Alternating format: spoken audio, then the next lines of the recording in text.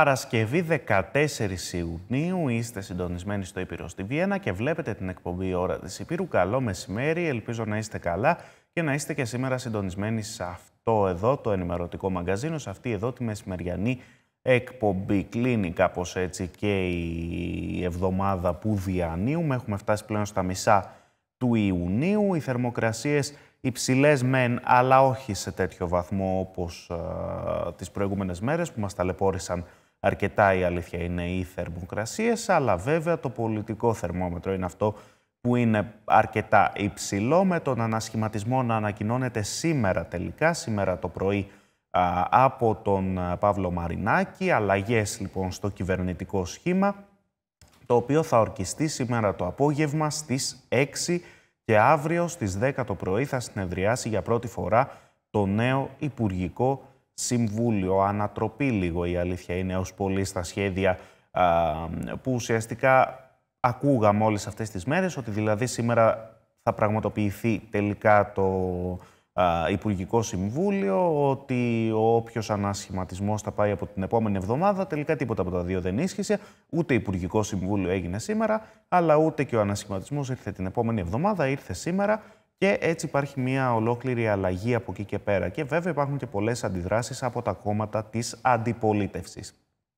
Αυτό α, κυριαρχεί σήμερα στην ατζέντα της επικαιρότητας, με πολλές ανακοινώσεις λοιπόν, όπως είπα, και από την ε, πλευρά της αντιπολίτευσης, με διάφορες αντιδράσεις, με διάφορους, α, έτσι αν θέλετε, προβληματισμούς, με διάφορους, εν πάση περιπτώσει, με διάφορες προσπάθειες να αποδοθεί ο λόγος για τον οποίο επιλέχθηκαν τα συγκεκριμένα πρόσωπα στις συγκεκριμένες θέσεις. Θα τα δούμε λίγο αργότερα όλα αυτά στο πρώτο μέρος της εκπομπής. Μια εκπομπή στην οποία παρεμβαίνετε στο 2651 68541 68542. Στο κινητό τηλέφωνο περιμένουμε τα γραπτά σας μηνύματα. Βλέπετε τον αριθμό στο κάτω μέρος της οθόνης. Στο rapirpapakigmail.com μας στέλνετε τα email σας, ενώ μας βρίσκετε και στο facebook, αναζητώντας με ελληνικούς χαρακτήρες τη σελίδα της εκπομπής «Η ώρα της Υπήρου», όπως είναι και ο τίτλος. Το ίδιο κάνετε σε Facebook, X και YouTube για τους λογαριασμούς του Ήπειρο στη Βιέννα, ακριβώς όπως το βλέπετε στην οθόνη σας. Θα πάμε να ξεκινήσουμε με την ε, επικαιρότητα όπως καταγράφεται από τα πρωτοσέλιδα των εφημερίδων, τα οποία βέβαια κυκλοφόρησαν έτσι χθες το βράδυ, οπότε προφανώς δεν έχουν μέσα τα, τα νέα ονόματα, δεν έχουν τα, το ανασχηματισμό. Δεν ξέρω μήπως και κάποιο πρωτοσέλιδο αναφέρεται στον ανασχηματισμό που πρόκειται να έρθει από την επόμενη εβδομάδα.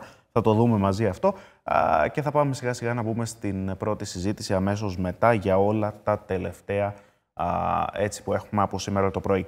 Τα νέα λοιπόν είναι η πρώτη εφημερίδα. Σε τέσσερις παγίδες έπεσε η Νέα Δημοκρατία, οι αναλήξεις του Μαξίμου για τη βουτιά. Ελεύθεροι επαγγελματίες, αγρότες, νέοι και κεντρική Μακεδονία. Στο κομμάτι των ελεύθερων επαγγελματιών, οι αυτοπασχολούμενοι έπαιξαν τον κρισιμότερο ρόλο στις εκλογικές απώλειες της κυβέρνησης δια της αποχής, σύμφωνα με τα νέα, αγρότες, κομβικές οι διαρροές από τον αγροτικό κόσμο, ο οποίος ενίσχυσε Πασόκ, Κουκουέ και Ελληνική Λύση.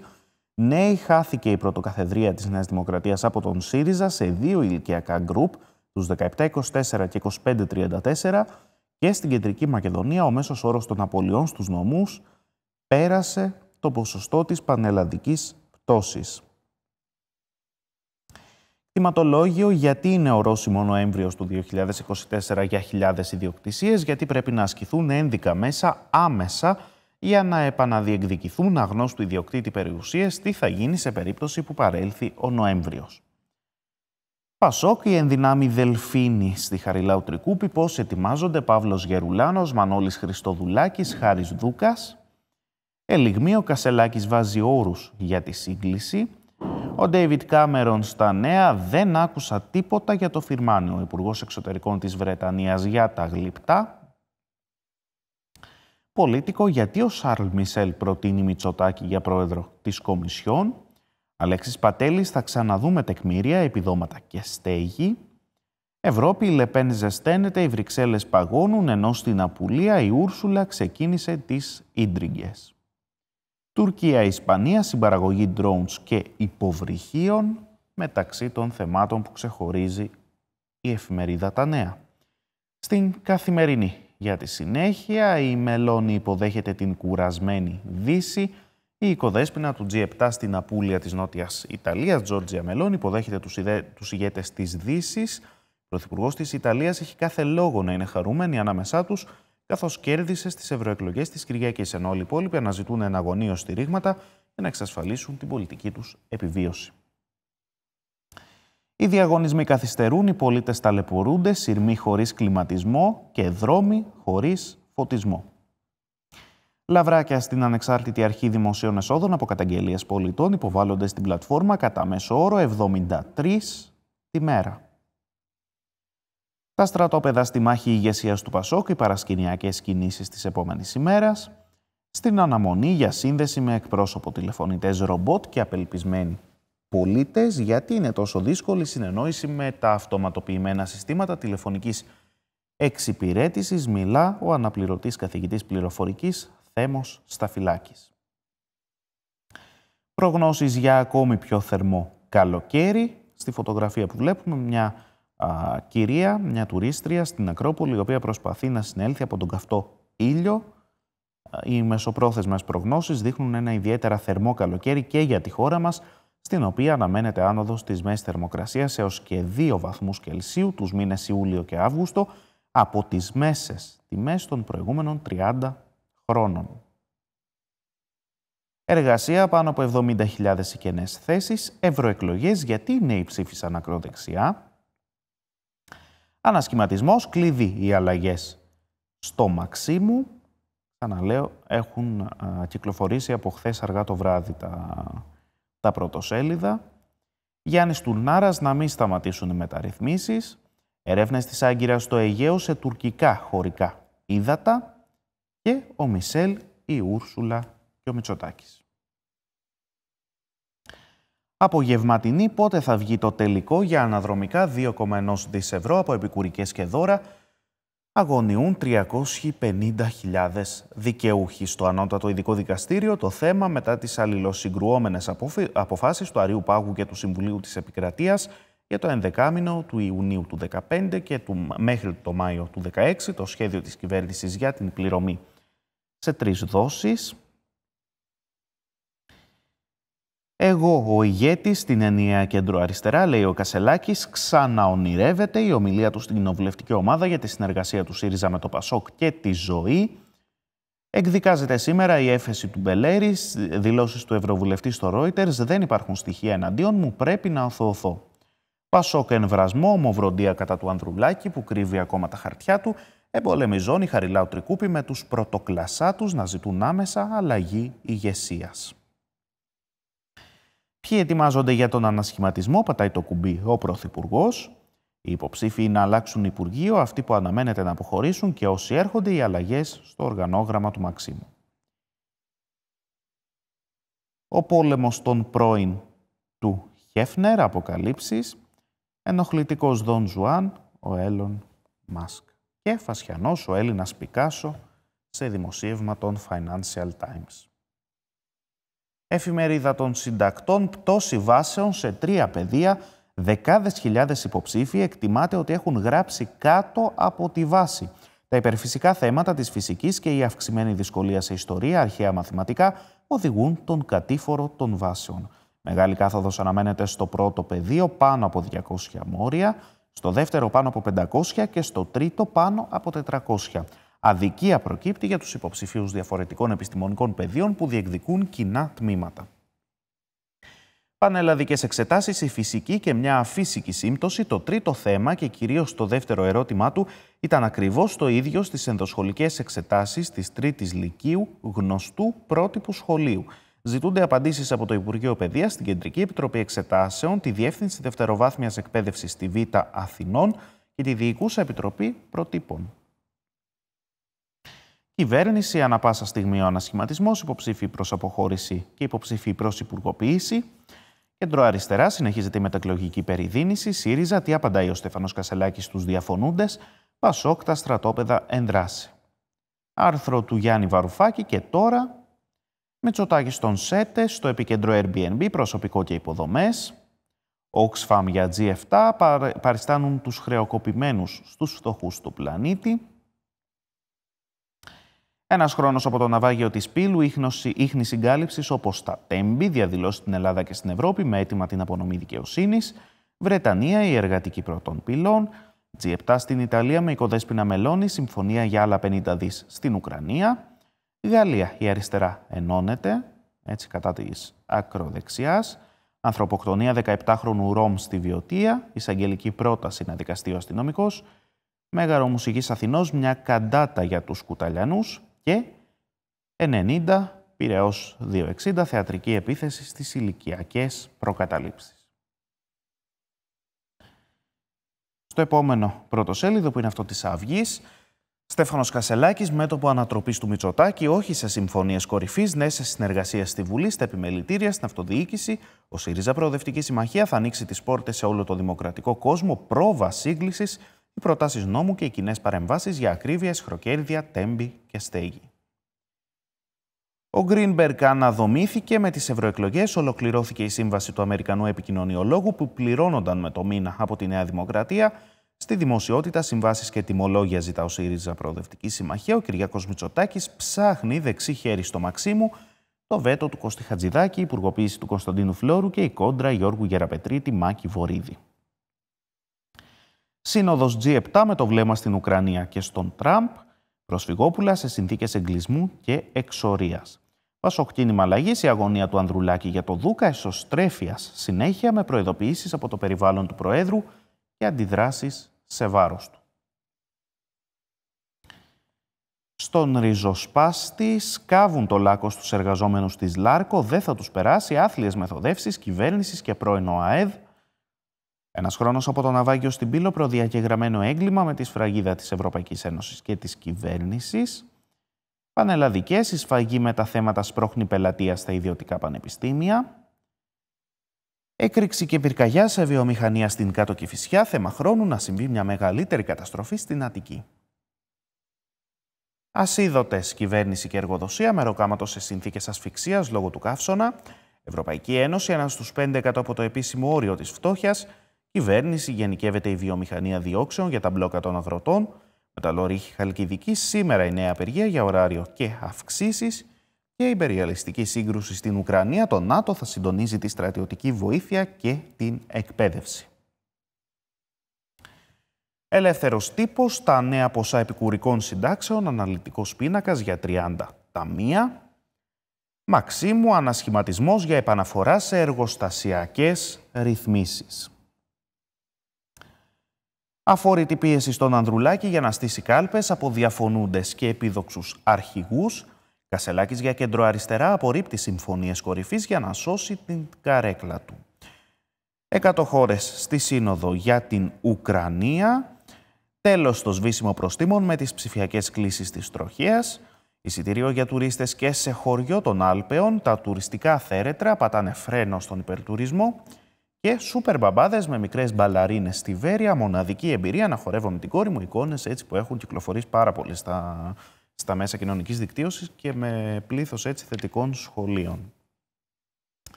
Κόντρα News, σήκωσαν μπαϊράκι πολλοί υπουργοί, δεν δέχονται μετακινήσεις σε άλλα πόστα, βραχικυκλώνοντας τον ανασχηματισμό, άγριο παζάρι στο Μαξίμου μέχρι να καταλήξουν στη σύνθεση της νέας κυβέρνησης. Κασελάκης στην κοινοβουλευτική ομάδα. Δεν υπάρχει σενάριο να αποχωρήσω για να έρθει ένας από μηχανής θεός. Νικός Ανδρουλάκης συνεχίζεται το σύριαλ της αμφισβήτησης του Προέδρου του Πασόκ. Τραγωδία των τεμπών στη Βουλή διαβιβάστηκε νέα δικογραφία ύστερα από μήνυση συγγενών των θυμάτων. Ακρίβεια και φόροι ρήμαξαν οικοκυριά και επιχειρήσεις. Τέταρτη φτωχότερη χώρα στην Ευρωπαϊκή Ένωση η Ελλάδα. Ευρωπαϊκά ομόλογα, αναταράξεις και πολιτική αβεβαιότητα και στην αυτεμπορική τη πταίει για τις χιλιάδες κενές θέσεις εργασίας. Στην αυτεμπορική ακτινογραφή το αρνητικό ρεκόρ 15 ετίας 70.826 ακάλυπτες θέσεις στο πρώτο τρίμηνο. Τέλος εποχής στο χαρτόσημο ΜΕΗ τέλος συναλλαγών. Μούντις στην επενδυτική βαθμίδα ανέκτησε η Eurobank. Επαγγελματικά ακίνητα ανέβηκαν όροφο τιμές και μισθώματα, τα κυριότερα έτσι, νέα από το πρωτοσέλιδο της ναυτεμπορικής. Θα πάμε να πούμε στην πρώτη συζήτηση, να αποκωδικοποιήσουμε λίγο ουσιαστικά έως και πολύ τα όσα ακούσαμε σήμερα από τον κύριο Μαρινάκη.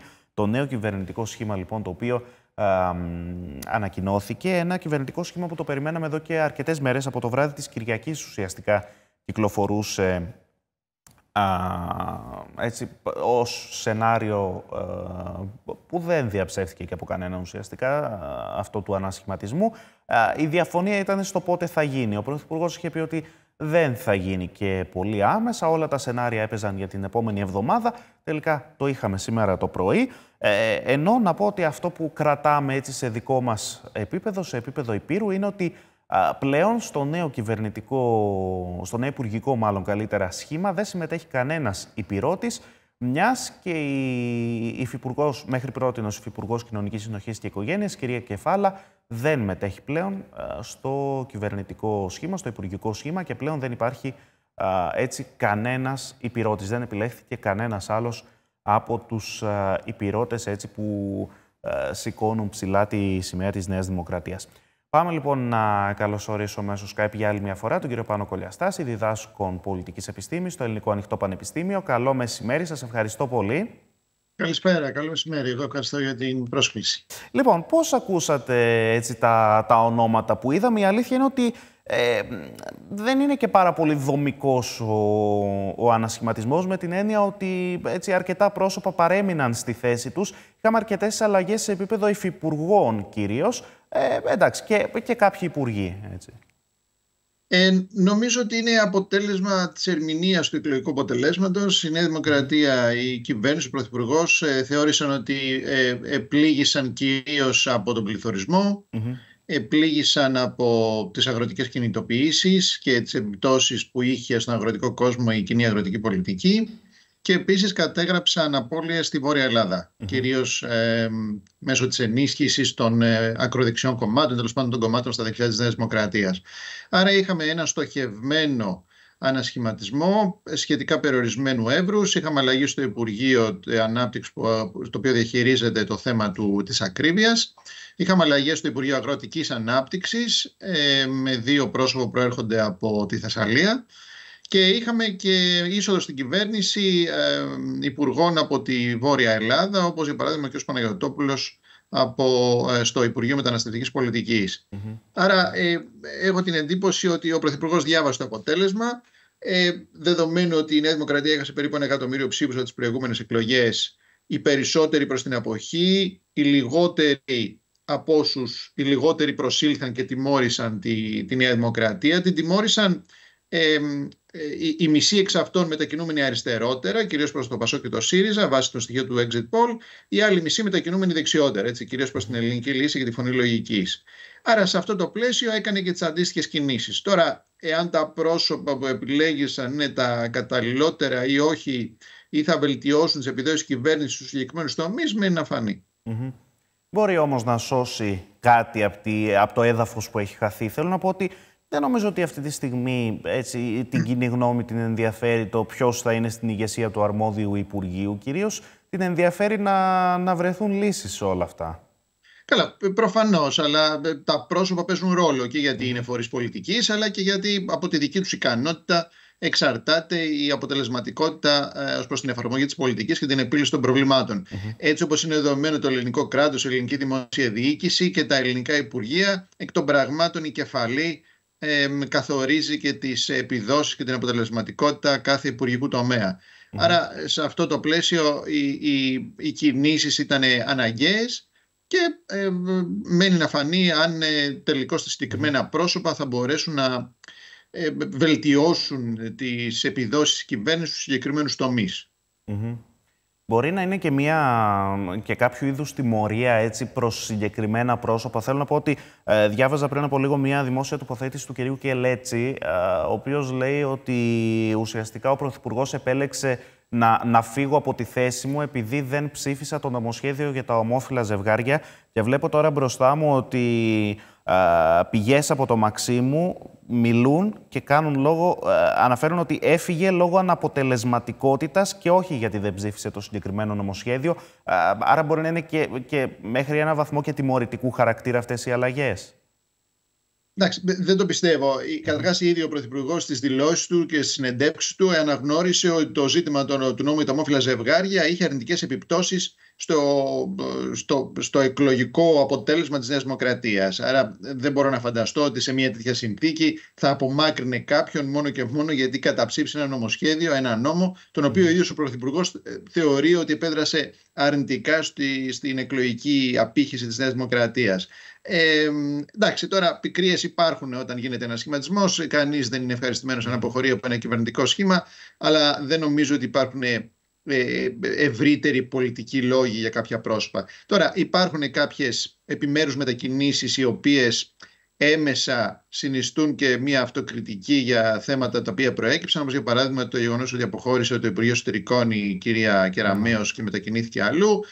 Ε, δεν ευθύνεται προφανώς για το θέμα με τη διαρροή των emails, αλλά ως αρμόδια υπουργός εσωτερικών κλείθηκε, να το, όμως, ναι. κλείθηκε να το διαχειριστεί. Άρα ε, ενδεχομένως εκεί υπάρχει ένα ζήτημα. Τώρα, εάν όλες αυτές οι κινήσεις θα αποδώσουν, αυτό εξαρτάται από τις αιτίες που εξηγούν είτε την μετακίνηση κάποιων ψηφοφόρων προς άλλες κατευθύνσεις, προς άλλα κόμματα, είτε, τη μετα... είτε την επιλογή κάποιων να διαμαρτυρηθούν δια της αποχής τα exit, σύμφωνα με τα στοιχεία του exit poll, το μεγαλύτερο κομμάτι της αποχής προέρχεται από το ευρύτερο κέντρο, δηλαδή από mm. κεντρώους και κεντροδεξιούς ψηφοφόρους Νέας Δημοκρατίας. Αυτοί εξέφρασαν μια διαμαρτυρία είτε λόγω του πληθωρισμού, κυρίως στα τρόφιμα και στα ενίκια, είτε λόγω επιμέρου, δυσαρέσκειας με επιμέρους πρωτοβουλίες ε, όπως για παράδειγμα τα τεκμήρια για τους ελεύθερους επαγγελματίες, η κοινή αγροτική πολιτική για τους αγρότες ή ακόμα και τα μη κρατικά πανεπιστήμια για τους νεότερους ηλικία, για τους φοιτητές. Για παράδειγμα αν δει κανείς τα στοιχεία, η Νέα Δημοκρατία έχασε την πρωτοκαθεδρία στους ψηφοφόρους νεότερης ηλικίας, 17-24, αλλά και λίγο, λίγο μεγαλύτερους, όπως και, και στους φοιτητές. Ενώ προηγείται σε όλες αυτές τις ηλικιακές ομάδες και τις κοινωνικές ομάδες ε, στις εθνικές εκλογές του Ιουνίου του 2023. Τώρα, σε αυτούς οι οποίοι πήγαν στην κάλπη και τιμώρησαν το κυβερνών κόμμα μετακινούμενοι ε, με επίκεντρο κυρίως στη Βόρεια Ελλάδα, εκεί πέραν της δυσαρέσκειας με τον πληθωρισμό και τις οικονομικές ανασφάλειες παράγει. Υπήρχε δυσαρέσκεια και για πολιτισμικού χαρακτήρα θέματα. Υπήρχε δηλαδή μια, μια αίσθηση πολιτισμικής ανασφάλειας που δημιούργησαν μια σειρά από πρωτοβουλίες. Πρόκειται κυρίως για συντηρητικούς πολίτες οι οποίοι αισθάνονται ότι απειλείται η ταυτότητά τους και οι παραδοσιακές αξίες που τις συγκροτούν είτε λόγω του νόμου για τα ομόφυλα ζευγάρια, είτε λόγω του μεταναστευτικού, είτε λόγω της ε, συνθήκης της, της συμφωνίας των Πρεσπών. Ε, δεδομένου όμως ότι κανένα από αυτά τα θέματα δεν πρόκειται να αλλάξει. Δηλαδή, ούτε ο νόμος πρόκειται να ακυρωθεί, ούτε η πολιτική στο μεταναστευτικό πρόκειται να αλλάξει, ούτε η συμφωνία των Πρεσπών προφανώς ε, πρόκειται να, να καταρρεύσει, εκτός αν υπάρξουν κάποιες ε, ε, επιλογές από την πλευρά της Βόρειας Μακεδονίας. Συνεπώς, δεν νομίζω ότι με αυτό το ακροατήριο είναι εύκολο πλέον να επικοινωνήσει η κυβέρνηση και ο Μητσοτάκης. Άλλωστε, αυτό το, το διαπιστώνει κανείς εάν κοιτάξει τα απόλυτα νούμερα. Δηλαδή, τον Ιούνιο του 23 σε εθνικές κάλπες η ελληνική λύση, τα τρία κόμματα τα ακροδεξιά που μπήκαν στη Βουλή, η ελληνική λύση, η Νίκη και οι, ε, και οι Σπαρτιάτες άθρησαν 668.000 περίπου ψήφους. Σήμερα, σε ευρω... τώρα σε ευρωεκλογές, τα τρία αντίστοιχα κόμματα που έβγαλαν ευρωβουλευτή, η Ελληνική Λύση, η Νίκη και η Φωνή Λογική, αθρίζουν 664.000. Mm-hmm, Άρα, επί της ουσίας, εκεί δεν είχαμε μεταβολή σε επίπεδο απόλυτου αριθμού ψήφων, αλλά το γεγονός ότι το ίδιο κομμάτι του εκλογικού σώματος έκανε την ίδια επιλογή, σημαίνει ότι το ρήγμα με την κυβέρνηση έχει Άρα δεν, νομίζω ότι εκεί, από εκεί προσδοκά κάτι ο Πρωθυπουργός. Το θέμα είναι να επαναπατρίσει, να επανασπυρώσει, να επαναπροσελκύσει τους κεντρούς και κεντροδεξιούς ψηφοφόρους οι οποίοι είτε πήγαν αριστερότερα είτε επέλεξαν την εποχή. Πάντως, ε, δεν ξέρω αν θα συμφωνήσετε, νομίζω ότι αυτή η, η εκλογική αναμέτρηση ε, ενδεχομένως και να έπρεπε να, να διδάσκεται με την έννοια ε, του πώς ψηφίζουμε. Τι θέλω να πω. Ε, κυκλοφόρησε πάρα πολύ στο διαδίκτυο τις προηγούμενες ημέρες η ιστορία μιας α, υποψήφιας μέχρι πρότινος με την ελληνική λύση, η οποία κατάφερε να εκλεγεί συγκεντρώνοντας 50.000 περίπου σταυρούς, λίγο παραπάνω, δεν θυμάμαι ακριβώς τον αριθμό, χωρίς να έχει κάνει καμία δημόσια τοποθέτηση όλο αυτό το διάστημα, χωρίς να έχει μιλήσει ποτέ, χωρίς να την ξέρει κανείς, παρά μόνο ελάχιστοι άνθρωποι και παρόλα αυτά κατάφερε να βγει, να, να εκλεγεί ακριβώς πίσω από τον κύριο Φράγκο, ο οποίος ήταν ήδη ευρωβουλευτής και επανεξελέγει ουσιαστικά. Ήταν το δεύτερο πρόσωπο που κατάφερε να, να μπει στην Ευρωβουλή εκπροσωπώντας την ελληνική λύση. Ένας άνθρωπος, που, ε, μια γυναίκα που δεν την ήξερε κανείς έτσι, και, και, και μας πήρε και μερικές μέρες να τη γνωρίσουμε εμφανισιακά και είχε πει και η ίδια ότι δεν θέλω να κάνω καμία δημόσια τοποθέτηση. Είναι νομίζω πορεία άξιο. Εντάξει, ακραία ε, ακραίες εκδοχές, να το πω έτσι, στα εκλογικά αποτελέσματα μπορεί να υπάρξουν, όπως και γραφικές περιπτώσεις ή τέλος πάντων ε, απροσδόκητα αποτελέσματα. Ε, πολλές φορές κάνουμε λόγο για την ποιότητα του πολιτικού προσωπικού, αλλά η ποιότητα του πολιτικού προσωπικού είναι ανάλογη της ποιότητας του εκλογικού Ε, δεν είναι όλοι οι άνθρωποι ίδιοι, όλοι οι πολίτες ίδιοι, όλοι οι ψηφοφόροι ίδιοι.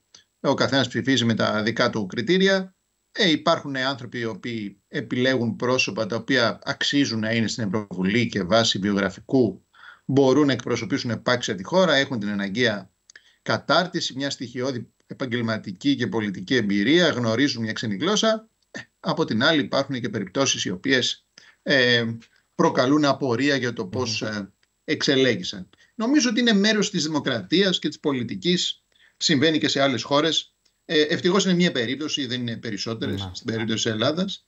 Ε, δεν νομίζω ότι ε, είναι μέρος ενός ε, ε, ευρύτερου φαινομένου. Ας πούμε, ανάλογη περίπτωση παρατηρήθηκε πρόσφατα και στην Κύπρο. Έτσι, εξελέγει ναι, ένας βέβαια. YouTuber ο οποίος ναι. ήταν, κατέβηκε μόνος του, έκανε καμπάνια μόνο μέσω YouTube. Τον οποίο τον ήξεραν όμως. Ναι, εντάξει, τον ήξεραν, αλλά θέλω να πω δεν είχε καμία σχέση με την πολιτική και ο ίδιος ναι. δήλωνε ότι δεν ξέρει τίποτα την πολιτική και τώρα θα μάθει. Ναι. Εντάξει, υπάρχει και αυτή η διάσταση. Ενδεχομένως σε συνθήκες γενικότερης δυσπιστίας έναντι της πολιτικής, των πολιτικών του πολιτικού συστήματος και το γεγονός ότι υπάρχει ένα ευδιάκριτο τμήμα της κοινή νόμη το οποίο ε, Θεό, έχει απαξιώσει, στα μάτια του οποίου έχει απαξιωθεί, ε, έχουν απαξιωθεί τα πολιτικά κόμματα και οι υποψήφοι να θεωρεί ότι με αυτό τον τρόπο ας πούμε ε, ψηφίζοντας κάποιους εκτός, εκτός των τυχών να ε, στέλνει κάποιο μήνυμα ή να συμβάλλει σε κάποια ανανέωση του πολιτικού προσωπικού δεν έχει επιβεβαιωθεί μέχρι τώρα. Το είδαμε και την περασμένη δεκαετία της οικονομικής κρίσης όταν τα παραδοσιακά κόμματα και το παραδοσιακό πολιτικό προσωπικό απαξιώθηκε, πολλοί έμειναν εκτός Βουλής. Αυτοί που ήρθαν στη θέση τους σε γενικές γραμμές αποδείχθηκαν χειρότερα τους προηγούμενους. Mm-hmm. Πραγματικά. Τώρα, το μεγάλο σούσουρο, το μεγάλο θόρυβο τον κάνει η κεντροαριστερά από το ίδιο βράδυ κιόλας, από το βράδυ της Κυριακής. Ε, εγώ άκουσα φωνές ε, και σε τοπικό επίπεδο, αλλά νομίζω γενικευμένες φωνές, έτσι, που ε, μιλούσαν για την ανάγκη έτσι, μιας ενιαίας κεντροαριστεράς. Αυτό δηλαδή λίγο πολύ που το είχαμε ακούσει από κάποιους υποψηφίους και στην προεκλογική περίοδο, αλλά πολύ πιο συγκρατημένα, ακριβώς επειδή μιλάμε για προεκλογική περίοδο. Από το βράδυ, λοιπόν, από το κλείσιμο της κάλπης, αυτό βγήκε πιο μαζικά προς τα έξω. Ε, και κυρίως το μεγάλο ενδιαφέρον έτσι στρέφεται στο χώρο του Πασόκ, εκεί όπου ένα-ένα πραγματικά θέτουν ζήτημα ηγεσία. Το Πασόκ προσπαθεί, η ηγεσία του Πασόκ και, και ο εκπρόσωπος τύπου χθες, ο κ. Γουλαβίνα, εδώ μου έλεγε ότι ε, είναι, είναι προτιμότερο να πάρουν όλα το δρόμο τους και να μπουν σιγά σιγά σε μια σειρά όχι με βεβαιασμένες κινήσεις. Ε, Πώς μπορούμε να, να προβλέψουμε εντός εισαγωγικών το μέλλον, Ποιο θα είναι το μέλλον στο Πασόκ; Κοιτάξτε, το Πασόκ είχε βάλει στόχο τη δεύτερη θέση και βγήκε τρίτο. Άρα εκ των πραγμάτων υπάρχει την επόμενη μέρα αμφισβήτηση στην ηγεσία. Προφανώς ένα κόμμα δεν είναι μόνο η ηγεσία του και υπάρχουν και άλλοι λόγοι που παίζουν ρόλο και καθορίζουν την εκλογική συμπεριφορά των πολιτών. Αλλά η ηγεσία είναι ο κινητήριος μοχλός. Αυτή έχει τον πρώτο και τον τελευταίο λόγο, αυτή χαράσει τη στρατηγική, αυτή διαμορφώνει την προεκλογική καμπάνια, διαμορφώνει το πρόγραμμα, επιλέγει τα στελέχη της ηγετικής ομάδας. Άρα, εκ των πραγμάτων, έχει το μεγαλύτερο μερίδιο της ευθύνης σε μια αποτυχία, όπως θα είχε και το μεγαλύτερο, όπως θα πιστονόταν και το μεγαλύτερο όφελος σε μια επιτυχία. Έτσι. Αν το Πασόκ ήταν δεύτερο, σήμερα θα λέγαμε ότι ο, ο Νίκος Ανδρουλάκης είναι κυρίαρχος ε, στην κέντρο αριστερά, είναι το αντίπαλο δύο στο Μητσοτάκι και, και ούτω καθεξής. Άρα ισχύει και στη μία περίπτωση, ισχύει και στην άλλη. Τώρα θυμίζω ότι ο νυν αρχηγός του Πασόκ εξελέγει το 2021. Έκτοτε έχουν πραγματοποιηθεί τέσσερις εκλογές, δύο εθνικές, μία αυτοδιοικητική και, μία, ε, και, και οι ευρωεκλογές. Ε, Όντως στις ε, εθνικές κάλπες του Μαΐου του 23 είχε βάλει στόχο ένα ισχυρό διψήφιο. Πήρε ένα χαμηλό διψήφιο, 11,8% περίπου. Κατέρευσε ο ΣΥΡΙΖΑ προσδόκητα, δημιουργήθηκαν τότε οι προποθέσει προκειμένου το Πασόκ να προσπεράσει. Δεν προσπέρασε, δεύτερη θέση. Στι αυτοδιοικητικές εκλογές τα πήγε καλύτερα, έκανε την έκπληξη στο Δήμο Αθηναίων και σε άλλους, και ενίσχυσε τα ποσοστά του σε άλλους Δήμους, αλλά έχει κάτι εντυπωσιακό. Τώρα είχε βάλει στόχο τη δεύτερη θέση, ε, με δεδομένο ότι και για αρκετούς μήνες από τον Νοέμβριο στον Ιανουάριο προηγείται έναντι του ΣΥΡΙΖΑ σε αυτόν τον ανταγωνισμό. Ωστόσο την έχασε στην πορεία από τον Ιανουάριο και μετά και παρά τη μικρή απόσταση που τον, χωρί, που τον χώριζε δημοσκοπικά αλλά τον χωρίζει και ως πραγματικό εκλογικό αποτέλεσμα δεν κατάφερε να κάνει την έκπληξη. Ναι μεν σε επίπεδο ποσοστού αύξησε τις δυνάμεις του μια μονάδα αλλά αν δείτε τα απόλυτα νούμερα σε σύγκριση με τις εθνικές εκλογές έχει χάσει 110.000 ψήφους. Κάτι το οποίο είναι παράδοξο για ένα κόμμα που δεν ανήκει στα δύο πρώτα. Συνήθως σε ευρωεκλογές τα κόμματα αυτά ενισχύονται ε, και σε επίπεδο απόλυτου αριθμού ψηφοφόρων. Κάτι τέτοιο δεν συνέβη. Αυτό εκ των πραγμάτων τροφοδότησε την εσωστρέφεια. Κατά τη γνώμη μου, εάν δεν γίνει άμεσα η, η εσωκομματική εκλογή ηγεσίας και τα αρμόδια κομματικά όργανα του ΠΑΣΟΚ λάβουν απόφαση να την μεταθέσουν για το 25, οπότε είναι και προγραμματισμένη, αυτό θα λειτουργήσει διαβρωτικά για, το, για την ε, θέση του, του, του, του Ανδρουλάκη για, καθώς η εσωστρέφεια θα συνεχιστεί έτσι. Ε, πολύ περισσότερο δε όταν θα αρχίσουν πάλι σε λίγο να δημοσιεύονται δημοσκοπήσεις για την πρόθεση ψήφου των βουλευτικών εκλογών. Άρα ουσιαστικά αυτή η εικόνα στασιμότητας ή πολιτικής μιζέριας θα, ε, ε, θα παραταθεί και θα τροφοδοτήσει νέες συζητήσεις. Νομίζω ότι σε αυτές τις περιπτώσεις όταν μια ηγεσία γενικώ τελεί υπό αμφισβήτηση το καλύτερο που έχει να κάνει είναι να προσφύγει πάλι στη βάση, να θέσει υποψηφιότητα και να ζητήσει μια δεύτερη ευκαιρία με το επιχείρημα ότι ε, υπό την ηγεσία του, ε, το, υπό την ηγεσία Δουλάκη ενώ το Πασό κατάφερε να ενισχύσει τα ποσοστά του άρα ε, μπορεί να ε, συνεχίζοντας αυτό το δρόμο να επιτύχει το στόχο του στις επόμενες εθνικές Τώρα, ε, ακούγονται πολλοί υποψήφοι, δεν ξέρω τελικά ναι. ποιοι θα θέσουν υποψηφιότητα. Ε, κάποια πρόσωπα είχαν είχαν διεκδικήσει την αρχηγία και το 21, όπως ο, ο, κ. Γερουλάνος και ο κ. Χριστίδης, δεν ξέρω αν έχουν τις ίδιες προθέσεις. Ακούγονται τα ονόματα του κ. Δούκα και του κ. Ξοδουλάκη. Είναι δύο ενδιαφέρουσες περιπτώσεις. Ο κ. Δούκα είναι εκλεγμένος δήμαρχος Έχει επικρατήσει του Κώστα Μπακογιάννη, έκανε την έκπληξη. Ε, ο κύριος Χρυστολάκη από την άλλη είναι ένα νέο πρόσωπο με καλή ε, σκηνική παρουσία, επικοινωνιακός, είναι εκλεγμένος βουλευτής που δεν είναι ο κ. Δούκα. Σε κάθε περίπτωση έχω την εντύπωση ότι αν ανοίξει αυτή η διαδικασία, το ζητούμενο για τα μέλη και τους φίλους του κόμματος που θα προσέλθουν στις κάλπες είναι να επιλέξουν εκείνον που μπορεί να διασφαλίσει την ουσιαστική εκλογική ανάκαμψη του ΠΑΣΟΚ και την επιστροφή του σε θέση κόμματος εξουσίας. Άρα θα επιλέξουν τον, πιο, τον υποψήφιο που θεωρούν περισσότερο εκλόγιμο, όπως λέμε στην πολιτική επιστήμη, και σε αυτό το πλαίσιο θα αξιολογήσουν τους υποψηφίους με τα αντίστοιχα κριτήρια. Ε, να πούμε ότι την Τετάρτη το μεσημέρι θα συνεδριάσει το Πολιτικό Συμβούλιο. Ε, στο δικό μου μυαλό πάντως, επειδή έτσι βλέπω και διάφορες τοποθετήσεις ε, αρκετών και βουλευτών και στελεχών γενικώς του Πασόκ Κινήματος Αλλαγής, έχω την αίσθηση ότι μιλάμε για μια δυσαρέσκεια που υπήρχε από πριν, έτσι, υπήρχε πριν τις ευρωεκλογές. Απλώς τώρα είναι σαν να δόθηκε λίγο η αφορμή, είναι σαν να δόθηκε και το πράσινο φως εντός εισαγωγικών να, να εκφραστεί ακόμη πιο μαζικά αυτή η, α, η δυσαρέσκεια, σαν να πήρε ο ένας έτσι, να, να, να τροφοδότησε τις εξελίξεις και να ξεκίνησε ο ένας μετά τον άλλο να λένε το ίδιο πράγμα που είχαν στο μυαλό τους. Έχω την αίσθηση αυτή εγώ. Η δυσαρέσκεια υπήρχε σαφώς πριν τις εκλογές και ο λόγος είναι ότι ο ΣΥΡΙΖΑ ε, υπέστη μια τεράστια καθίζηση πέρσι. Αυτή η πτώση συνεχίστηκε και τώρα και το mm Πασόκ δεν έχει την αντίστοιχη ε, ε, ενίσχυση, mm-hmm. να το πω έτσι. Δηλαδή δεν συνέβη από την αντίστροφη πορεία ό,τι συνέβη το 2012. Τότε η κατάρρευση του Πασόκ πυροδότησε την έκρηξη του ΣΥΡΙΖΑ. Τώρα η κατάρρευση του ΣΥΡΙΖΑ δεν έχει πυροδοτήσει την αντίστοιχη έκρηξη του Πασόκ. Και νομίζω ότι η κριτική γίνεται σε τρία επίπεδα. Το ένα είναι ότι η προσωπική εικόνα του κ. Ανδρουλάκη, όπως οπισθοποιούν όλες τις δημοσκοπήσεις, είναι συγκριτικά αδύναμη. Είναι μάλλον αδύναμη συγκριτικά με εκείνη του κ. Κασελάκη και του κ. Μητσοτάκη. Τους αναφέρω γιατί είναι οι άμεση ανταγωνιστές του με αυτή την έννοια. Και αυτό το βλέπουμε και στους δείκτες για την καταλληλότητα για την πρωθυπουργία, την δημοφιλία, την ικανότητα διαχείρισης θεμάτων κτλ. Το δεύτερο είναι ότι το Πασόκ για να ξαναμεγαλώσει και να γίνει κρατεό όπως προκρίσεις, χρειάζεται να γίνει ξανά πολυσυλλεκτικό. Και αυτό δεν συνέβη. Αντίθετα, ε, στελέχη που αποχώρησαν όπως ο κ. Λοβέρντος έκαναν το δικό τους κόμμα και επί της ουσίας στέρισαν από τον Πασόκ τη δεύτερη θέση. Δηλαδή το ποστό πήρε ο κ. Λοβέρντος είναι η, ε, λίγο πολύ η διαφορά που έχει το Πασόκ από το ΣΥΡΙΖΑ. Άλλωστε από τότε που άρχισε να μετράνε τις δημοσκοπήσεις έχασε ο Ανδρουλάκης και τη, και τη δεύτερη θέση σε αυτές. Και το τρίτο στοιχείο έχει να κάνει με την ε, στόχευση του κόμματος και την πολιτική που εφάρμοσε για να το πετύχει. Ενώ ότι όταν ανταγωνίζει την Νέα Δημοκρατία, που είναι κυρίαρχη και ειδικά στο μεσαίο χώρο, προφανώς προσπαθείς να τις αποσπάσεις ψηφοφόρους του ευρύτερου μεσαίου χώρου, να αποφάσει του δυσαρεστημένους, οι οποίοι ε, αναζητούν μια εναλλακτική. Ε, άρα χρειάζεται να ακολουθήσει μια πιο μετριοπαθή κεντρώα πολιτική. Κάτι τέτοιο δεν συνέβη, δεν επιβεβαιώθηκε σε μια σειρά αποζητήματα, είτε μιλάμε για τα μη κρατικά πανεπιστήμια, είτε για άλλες πρωτοβουλίες. Δημιουργήθηκε μια αίσθηση παλινοδίας η οποία θόλωσε το πολιτικό στίγμα του Πασόκ και οδηγηθήκαμε σε, αυτό, σε αυτό το αποτέλεσμα. Αυτό δεν σημαίνει ότι εάν προκηρυχθούν τελικά ε, εσωκομματικές εκλογές ο Ανδρουλάκης κατά ανάγκη θα ιτηθει Έτσι, είναι, παραμένει ένα πρόσωπο με ισχυρή απήχηση. Στο Πασόκ, έχει οργανωτικές ικανότητες, έχει το επιχείρημα ότι ε, παρέλαβε ένα κόμμα σε μονοψήφιο ποσοστό και το έχει φέρει σε, σε διψήφιο ε, αλλά προφανώς ε, θα είναι μια δύσκολη μάχη σε περίπτωση που, που γίνει τελικά.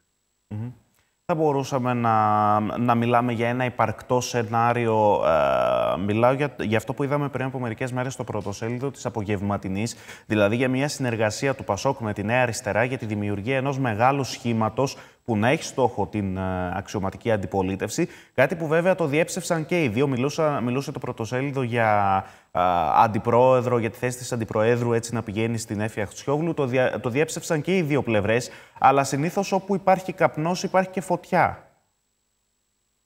Κοιτάξτε, γίνεται μια ευρύτερη συζήτηση για τη συνένωση των κομμάτων της κεντροαριστεράς. Τώρα, το συγκεκριμένο θέμα συνεργασίας Πασόκ Νέας Αριστεράς δεν νομίζω ότι έχει ρεαλιστική βάση ή ότι θα δημιουργήσει κάποια αίσθηση προοπτικής, διότι το Πασόκ τερμάτισε τρίτο, δεν πέτυχε το στόχο του. Η Νέα Αριστερά έμεινε κάτω του 3%, δεν έβαλε ευρωβουλευτή. Άρα, στα μάτια του κόσμου δεν θεωρούνται αυτά τα κόμματα νικητές των ευρωεκλογών. Συνεπώς, αν έμπαινε σε μια διαδικασία συνεργασίας μεταξύ τους, δεν νομίζω ότι θα είχαν τα προσδοκόμενα αποτελέσματα. Τώρα, εάν υπάρξει μια γενικότερη συζήτηση για να δημιουργηθεί κάτι μεγαλύτερο που θα περιλαμβάνει και το Πασό και το ΣΥΡΙΖΑ και τη Νέα Αριστερά, αυτό μένει να φανεί. Η τελευταία φορά που συνέβη κάτι αντίστοιχο ήταν το, και η μοναδική που συνέβη κάτι αντίστοιχο ήταν το 2017 Τότε το Πασόκ συνεργάστηκε με το Ποτάμι, τη Δημάρ, το Κιδισό και άλλες οργανώσεις κεντροαριστερά με απόφαση που πήρε, μετά από απόφαση που πήρε η Φόφη Γεννηματά ως αρχηγός του μεγαλύτερου εκλογικά τότε κόμματος, που ήταν το Πασόκ, ε, και η οποία έθεσε, ρίσκαρε ουσιαστικά την ηγεσία της, την έθεσε στη, στη βάσανα μιας κομματική κάλπης και τελικά επικράτησε. Ε, τώρα το Πασόκ δεν είναι το μεγαλύτερο εκλογικά κόμμα. Προηγεί το ΣΥΡΙΖΑ. Άρα ε, είτε από το ΣΥΡΙΖΑ πρέπει να προέλθει η πρωτοβουλία αυτή, τον Κασελάκη, είτε σε περίπτωση που το προτείνει ο, ο Ανδρουλάκης, να, να δεχτεί το ρίσκο να κατέβει σε μια εκλογή ηγεσίας με αντίπαλο και τον Κασελάκη, ε, όπως ε, το είπε νομίζω χθες στην ομιλία του, και κίνδυνο να χάσει γιατί ο ΣΥΡΙΖΑ αριθμητικά είναι, το, είναι μεγαλύτερο κόμμα αυτή τη στιγμή από το ΠΑΣΟΚ. Άρα είναι μεγάλο το ρίσκο, να το πω έτσι ε, δεν νομίζω ότι θα, πάμε σε, θα οδηγηθούμε σε τόσο ριζοσπαστικές κινήσεις και δεν ξέρω σε ποιο βαθμό το σύνολο των στελεχών του Πασόκ εμπιστεύονται την ηγεσία του ΣΥΡΙΖΑ. Για να είμαι ειλικρινής. Άρα, αν υπάρξουν εξελίξεις, θα υπάρξουν εντός του Πασόκ. Ε, και μετά, αφού εκλεγεί η νέα ηγεσία ε, και ανάλογα και με την ε, πορεία ε, που θα αποτυπωθεί και στις δημοσκοπήσεις, θα δούμε αν θα έχουμε τέτοιου τύπου εξελίξεις. Για την ιστορία, πάντως, να πούμε ότι το κίνημα αλλαγής που ιδρύθηκε τότε δεν πήγε και πολύ καλά. Μερικές, ναι, ναι. Μερικούς μήνες μετά άρχισε να φιλορροεί, αποχώρησε ο Θοδωράκης, αποχώρησε ο Θεοχαρόπουλος της Δημάρ. Ε, στο τέλος έμεινε μόνο το Πασόκ. Άρα αυτά τα σχήματα, ειδικά όταν, είναι, όταν οι φορείς είναι πολυκομματικοί και δεν έχουν την απαραίτητη συνοχή, είναι δύσκολο να παραμείνουν συμπαγείς σε βάθος χρόνου. Πάντως νομίζω ότι μιας και έτσι και μιλήσαμε και για τη Νέα Αριστερά, νομίζω ότι ε, αν κρίνω και από κάποιες ε, δηλώσεις σημερινές του κυρίου Ζαχαριάδη, ε, δεν είναι και κάτι απίθανο. Έχω την αίσθηση ότι αυτή τη στιγμή και η ίδια η Νέα Αριστερά επιζητά τέτοιες συνεργασίες για να επιβιώσει ακριβώς επειδή δεν κατάφερε να εκλέξει έναν βουλευτή, δεν κατάφερε να περάσει το όριο του 3%.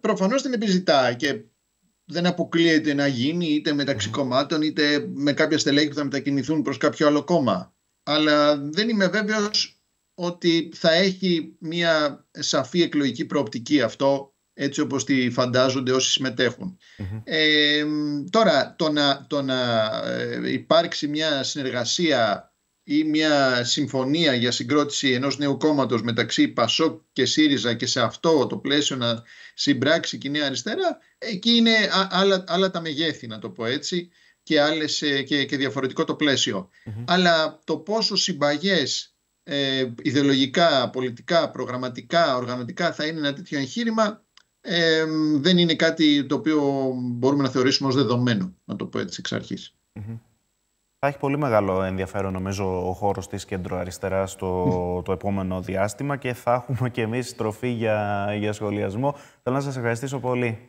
Και εγώ, να είστε καλά. Να είστε καλά. Θα είναι πολύ σύντομο, κυρίες και κύριοι, το πρώτο διαφημιστικό διάλειμμα. Μένετε συντονισμένοι. Επιστρέφοντας, θα φύγουμε εντελώς από τα πολιτικά, γιατί νομίζω ότι το ξέρετε πολύ καλά ότι αυτή η εκπομπή είναι και πολύ θεματική. Οπότε ε, έχω έναν καλεσμένο μετά που νομίζω ότι αξίζει να τον παρακολουθήσετε. Μία συζήτηση μετά για μία έκθεση ε, που ξεκινά, που ανοίγει τις πύλες της και επίσημα αύριο εδώ στην πόλη των Ιωαννίνων μια πολύ σπουδαία έκθεση σε πολύ λίγο.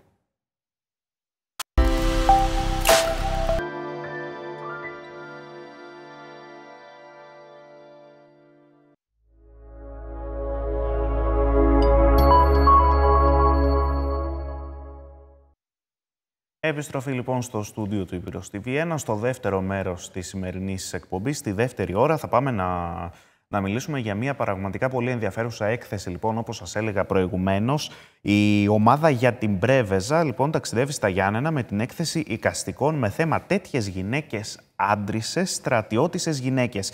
Ένας πραγματικά πολύ πρωτότυπος α, τίτλος. Η έκθεση πραγματοποιείται υπό την αιγίδα του Δήμου Ιωάννητων στον πολιτιστικό πολυχώρο Δημήτρης Χατζής στα Παλιά Σφαγεία από τις 10 μέχρι και τις 23 Ιουνίου ενώ τα εγγένεια θα πραγματοποιηθούν αύριο Σάββατο στις 8 το απόγευμα, στις 8 το βράδυ. Θα καλωσορίσω μέσω του Skype για να μιλήσουμε για αυτή την έκθεση τον κύριο Βαγγέλη Τσόλη, μέλος ουσιαστικά αυτής της ομάδας. Καλησπέρα σας, ευχαριστώ πολύ. Καλησπέρα και από μένα σε εσάς και στους τηλεθέατές σας. Λοιπόν, πραγματικά, όπως έλεγα, εντυπωσιακός νομίζω ο, ο τίτλος. Βλέπουμε εδώ και κάποια πλάνα ουσιαστικά από τον πολιτιστικό πολυχώρο Δημήτρης Χατζής, εκεί όπου φιλοξενούνται τα, τα εκθέματα. Α, να μας πείτε λίγο ακριβώς ποια είναι η θεματική. Λοιπόν, μια και αναφερθήκατε στον τίτλο, να πω ότι ο τίτλος είναι ένας από ένα ποίημα του Χρήστου Χριστοβασίλη, ενός δικού μας λογοτέχνη εδώ η Πυρώτη, και είναι τέτοιες γυναίκες άντρισες, στρατιώτισες γυναίκες. Γιατί η έκθεση ε, εντάσσεται στο πλαίσιο των εκδηλώσεων μνήμης που πραγματοποίησε η ομάδα για την Πρέβεζα. Πραγματοποιεί εδώ και αρκετά χρόνια είναι η αλήθεια. Αλλά πέρσι το έτος 2023 εντάξαμε σε αυτές τις εκδηλώσεις μνήμης και μια οικαστική έκθεση, μια ομαδική οικαστική έκθεση.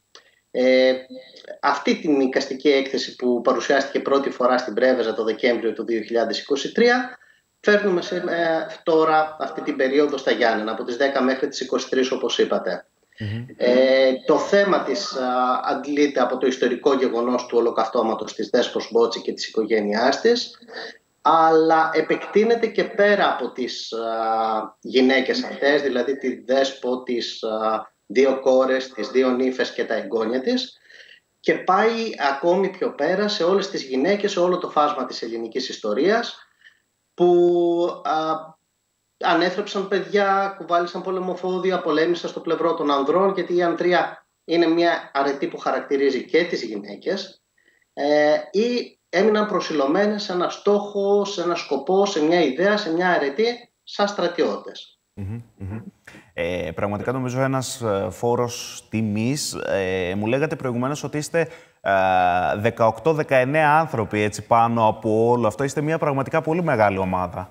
Είναι 18 οι συμμετέχοντες και έχουμε και μια συμμετοχή. Μας τιμά τη, το Μουσείο Αλή Πασά και επαναστατικής περίοδου στο νησάκι των Ιωαννίνων. Mm-hmm. Μας έχει δανείσει την αυθεντική γραβούρα του 1883 στην οποία εικονίζεται η Δέσπο Μπότσι με την οικογένειά της στον πύργο του Δημουλά. Οπότε γίνονται 19 οι συμμετοχες Ε, ουσιαστικά, από ό,τι καταλαβαίνω, η, η έκθεση αυτή ξεκίνησε από την Πρέβεζα και ήρθε τώρα στα Γιάννενα λίγο έτσι έως πολύ πλουσιότερη. Λοιπόν, έτσι ακριβώς ξεκινήσαμε στην Πρέβεζα σε ένα μικρότερο χώρο.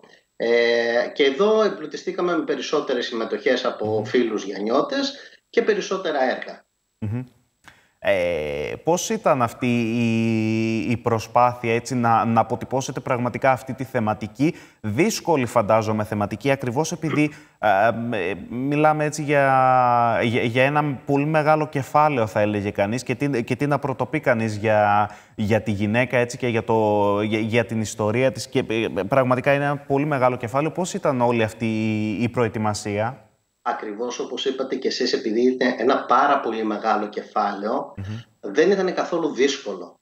Και ο τίτλος παρόλο που ακούγεται δύσκολο στο θέμα, ο στίχος αυτός του Χριστοβασίλη, δεν ήταν καθόλου δύσκολος γιατί άφηνε στον καθένα τα περιθώρια να φανταστεί, να σκεφτεί και να δημιουργήσει σε σχέση με τις γυναίκες, τα επιτεύγματα, τα όσα έχουν περάσει και τα όσα έχουν να προσφέρουν. Οπότε θεωρώ ότι ήταν ένα πολύ εύκολο θέμα και έδινε στον καθένα την ευκαιρία να δημιουργήσει και να καταθέσει την ψυχή του. Όσοι έτσι την έχουν δει ε, και αυτές τις πρώτες μέρες εδώ στα Γιάννενα, αλλά κυρίως όσοι την έχουν δει στην Πρέβεζα, τι σας ε, λένε, ποια συναισθήματα, γιατί έτσι και, και η τέχνη νομίζω ότι αυτό οφείλει να κάνει να, να μας ε, αναδεικνύει διάφορα συναισθήματα, να, να τα βγάζουμε από μέσα μας εντός εισαγωγικών ή να δημιουργούνται μέσα μας. Είναι πολύ θετική η ανταπόκριση του κόσμου και εδώ στην Πρέβεζα ήταν πολύ θετική και στα Γιάννενα. Ε, παρόλο που δεν μας ξέρουν, ξέρουν κάποιους δημιουργούς εκεί από τους φίλους γεννιώτες που συμμετέχουν.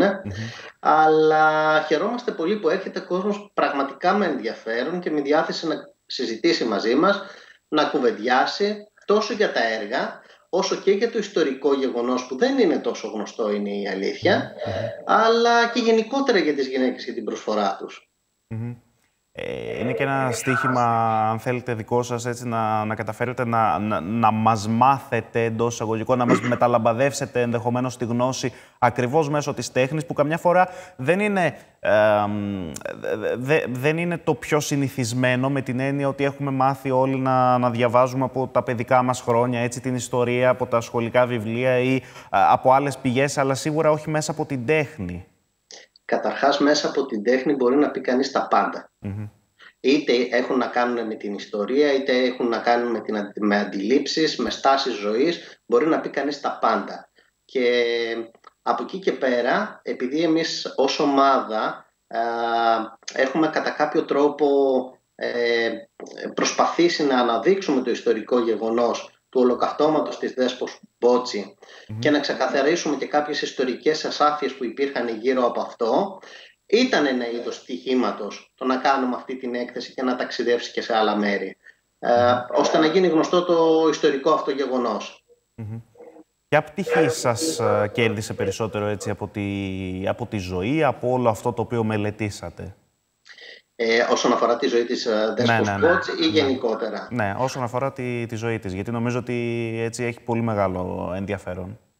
Ε, μπορώ να μιλήσω μόνο προσωπικά για μένα, ε, ότι αυτό που με κέρδισε ήταν η θέληση για ελευθερία.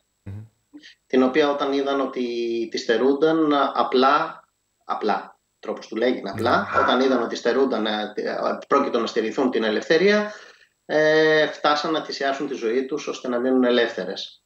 Αυτό για μένα είναι η υπέρτατη θυσία και δείχνει το σθένος και την ανδρεία αυτών των γυναικων Ε, να, να, να σας γνωρίσουμε λίγο καλύτερα αυτή την ομάδα, ομάδα για την Πρέβεζα, λοιπόν. Α, ποια είναι η δράση σας, έτσι, καταρχάς, και, και σε δεύτερο βαθμό, τι μπορεί να, να έρχεται από εδώ και πέρα; Λοιπόν, η ομάδα μας καταρχάς είναι μια παρέα ανθρώπων. Και λέω παρέα γιατί δεν είμαστε οργανωμένοι σε σύλλογο. Είμαστε μια ομάδα ανθρώπων, λίγο τρελών εντός εισαγωγικών. Χρειάζεται. Που τους αρέσει η ιστορία, τους αρέσει να σκαλίζουν τα θέματα πολιτισμού της πόλης μας αλλά και της ευρύτερης περιοχής. Το για την Πρέβεζα δεν μας δεσμεύει το να ασχολούμαστε με άλλες περιοχές ή να πηγαίνουμε σε άλλες περιοχές καλή ώρα όπως τώρα. Ε, και προσπαθούμε να κάνουμε αυτό, να αναδείξουμε ε, ιστορικά γεγονότα, σημεία της περιοχής μας που έχουν ιδιαίτερο ενδιαφέρον. Ε, αρθρογραφούμε, συνεργαζόμαστε με ανθρώπους που γράφουν και μας δίνουν κείμενα τα οποία δημοσιεύουν, δημοσιεύουμε. Προσπαθούμε να αναβιώσουμε παλαιά ε, έθιμα που έχουν χαθεί. Ε, γενικά δραστηριοποιούμαστε σε αρκετούς τομείς που έχουν να κάνουν με τον πολιτισμό και με την ιστορία. Όσο μπορούμε εμείς, ο καθένας με το λιθαράκι που μπορεί να βάλει.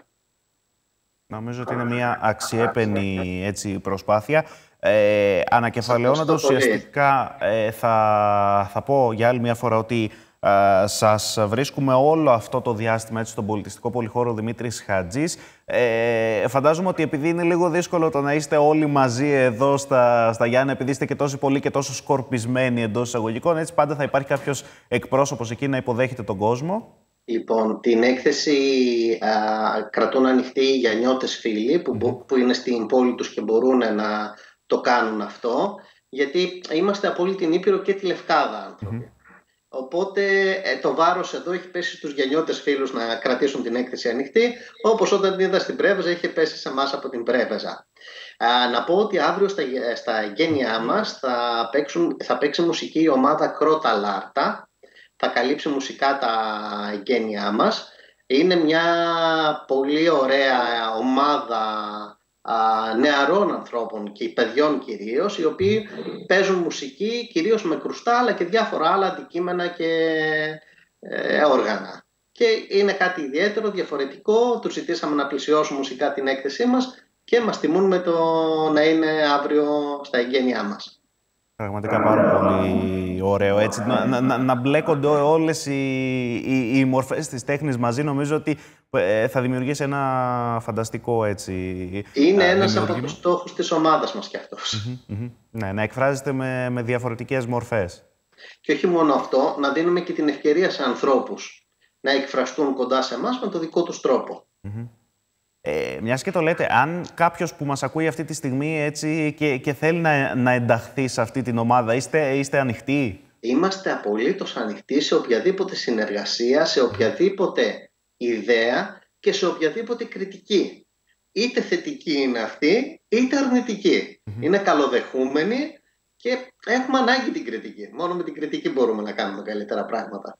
Πραγματικά. Πόσο μάλλον όταν είναι έτσι πραγματικά και φιλότιμη, αλλά και γίνεται και με καλή προσπάθεια και με καλό πρόσημο, γιατί νομίζω ότι όλο, όλα αυτά καλύτερους μας κάνουν.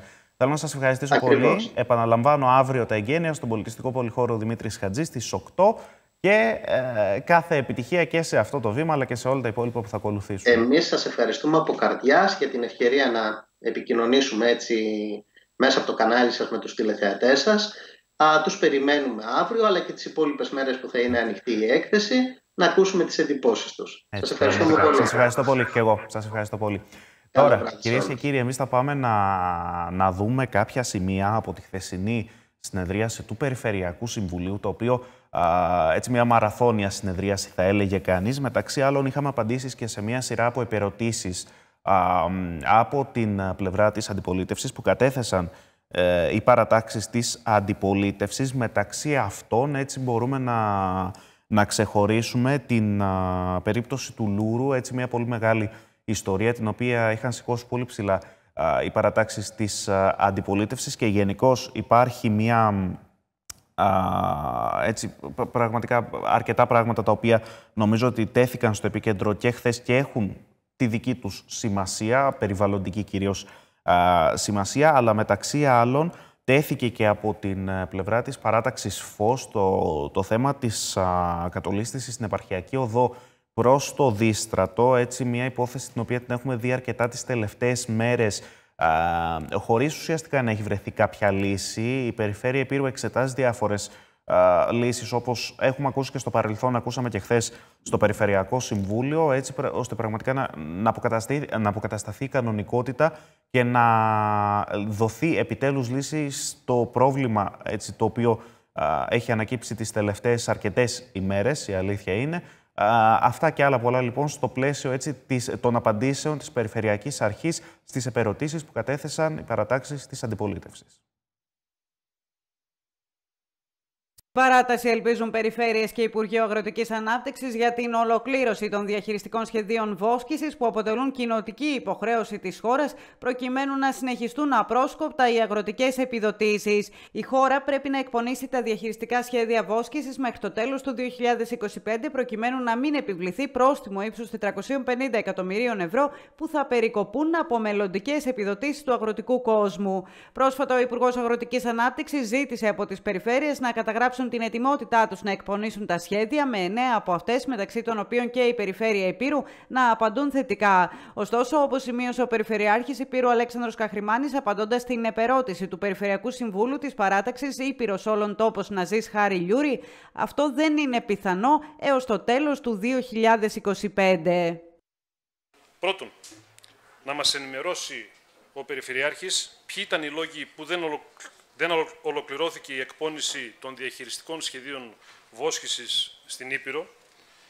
Ποιοι ήταν οι λόγοι ακύρωσης του διαγωνισμού που οδήγησαν την, την ενιαία αρχή δημοσίων συμβάσεων να τον ακυρώσει μετά από προσφυγές εταιριών που σας κατηγόρησαν για παράνομους όρους; Τρίτον, τι θα πράξετε ώστε να μην επανειληφθούν λάθη και αστοχίες του παρελθόντος; Και τέταρτον, θα μπορέσετε να ανταποκριθείτε στην καταληκτική προθεσμία 31 Δεκάτου για την εκπόνηση και οριστική έγκριση των διαχειριστικών σχεδίων βόσκησης στην περιφέρεια Επίρου. Καταλαβαίνετε ότι το θέμα είναι πολύ σοβαρό.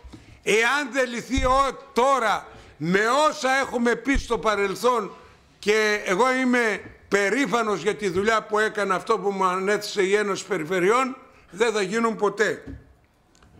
Εμείς δεν πράξαμε κάποια λάθη, υπάρχουν έγγραφα στα οποία γράφαμε τις επιφυλάξεις με τις διακηρύξεις που γινόταν κατά καιρούς. Και τώρα να ξεκινήσουμε το 25. Θέλει δύο χρόνια μετρήσεις επί εδάφους. Τι σημαίνει αυτό; Ε, εγώ ζήτησα να γίνουν δεν θυμόσαστε καλά, θα σας το πω πώς το είπα. Γιατί εγώ θυμάμαι τι λέω. Δεν φταίει ο υπουργός γι' αυτό. Αν θέλετε το κατεστημένο αυτό που έγινε από το 1996 μέχρι σήμερα και να πάρει ο καθένας τις ευθύνες του. Το ζήτημα του Λούρου με έμφαση στις ενέργειες της Περιφερειακής Αρχής για την αποκατάσταση του περιβάλλοντος, έπειτα από το πρόστιμο που επιβλήθηκε από τους επιθεωρητές περιβάλλοντος, αλλά και το εργατικό δυστύχημα στην Αρίστη, όπου ένας εργαζόμενος σκοτώθηκε κατά τη διάρκεια εργασιών για το απογοητευτικό, επανέφερε η λαϊκή συσπήρωση με δύο επερωτήσεις προς την Περιφερειακή Αρχή. Στην προκειμένη περίπτωση, η επιβολή προστίμου από το Υπουργείο Περιβάλλοντος δεν πρόκειται να διορθώσει τη βλάβη στο ευαίσθητο οικοσύστημα. Είναι άδικο, το αναγνωρίζουμε. Αυτό ουδόλως βέβαια απασχολεί την κυβέρνηση της Νέας Δημοκρατίας, που προσπαθεί να αποποιηθεί τις ευθύνες της για την ανεξέλεγκτη δράση των εργολάβων, που ληστεύουν το φυσικό πλούτο της χώρας, απουσία ελεγκτικών μηχανισμών και η οποία βάζει ένα πρόστιμο, το οποίο όμως θα πληρώσει ο λαός. Το κύριο τώρα εδώ στην περίπτωσή μας. Ε, με την οριστική έκθεση ελεγχού, αυτή που είχε γίνει ήδη από το Σεπτέμβριο του 2023, το Υπουργείο Περιβάλλοντος διοπίστωσε μία σειρά από πράξεις OK, ε, και η οποία στην ίδια έκθεση Υπάρχει το σημείο ε, στο οποίο λέει για πλάνο διορθωτικών ενεργειών. Επειδή ήδη έχουμε προσφύγει στη δικαιοσύνη κατά της απόφασης της επιθεώρησης περιβάλλοντος που αφορά την επιβολή του προστίμου, δεν μπορώ να αναφερθώ σε περισσότερες λεπτομέρειες. Περιορίζομαι μόνο σε δύο παρατηρήσεις. Η αποκατάσταση του περιβάλλοντος που ζητούν οι επιθεωρητές έγινε λίγες εβδομάδες μετά την καταγγελία που έγινε από τις βροχές που ακολούθησαν. Σήμερα δεν υπάρχει κανένα ζήτημα, έχουν γίνει συνεχώς επιθεωρήσεις, ενώ χάρη στις εργασίες που είχαν γίνει επιτεύχθηκε η αντιπλημμυρική προστασία των παρακείμενων ιδιοκτησεών.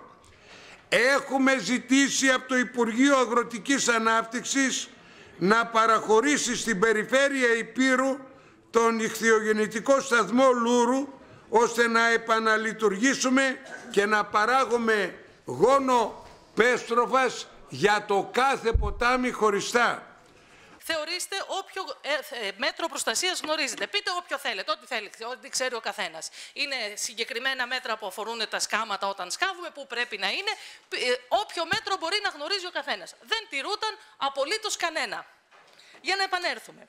Με δεδομένο ότι ο κλάδος των κατασκευών έχει εκατοντάδες εργατικά ατυχήματα κάθε χρόνο και μετρά ήδη στο πρώτο εξάμεινο 15 νεκρούς πανελλαδικά, με το 15ο εδώ στα Γιάννενα, η παντελής έλλειψη μέτρων για την προστασία της ζωής των εργαζόμενων μας επιτρέπει να μιλάμε για εργοδοτικό έγκλημα και όχι για εργατικό ατύχημα. Με την υπογραφή της σύμβασης, όπως προβλέπεται σε κάθε έργο, ο ανάδοχος υπέβαλε σχέδιο ασφαλείας και υγείας του έργου και φάκελο ασφάλειας και υγείας, τα οποία εγκρίνονται από την υπηρεσία και είναι υποχρεωμένος να τα εφαρμόσει. Ο φάκελος ασφάλειας και υγείας συμπληρώνεται κατά τη διάρκεια κατασκευής του έργου. Η τήρηση των μέτρων προστασίας, σύμφωνα με την ισχύουσα νομοθεσία, είναι μέρημνα και ευθύνη του μηχανικού ασφαλείας και υγιεινής. Ο ανάδοχος έχει την ευθύνη και υποχρέωση τήρησης της εργατικής νομοθεσίας για τη λήψη μέτρων προστασίας του περιβάλλοντος.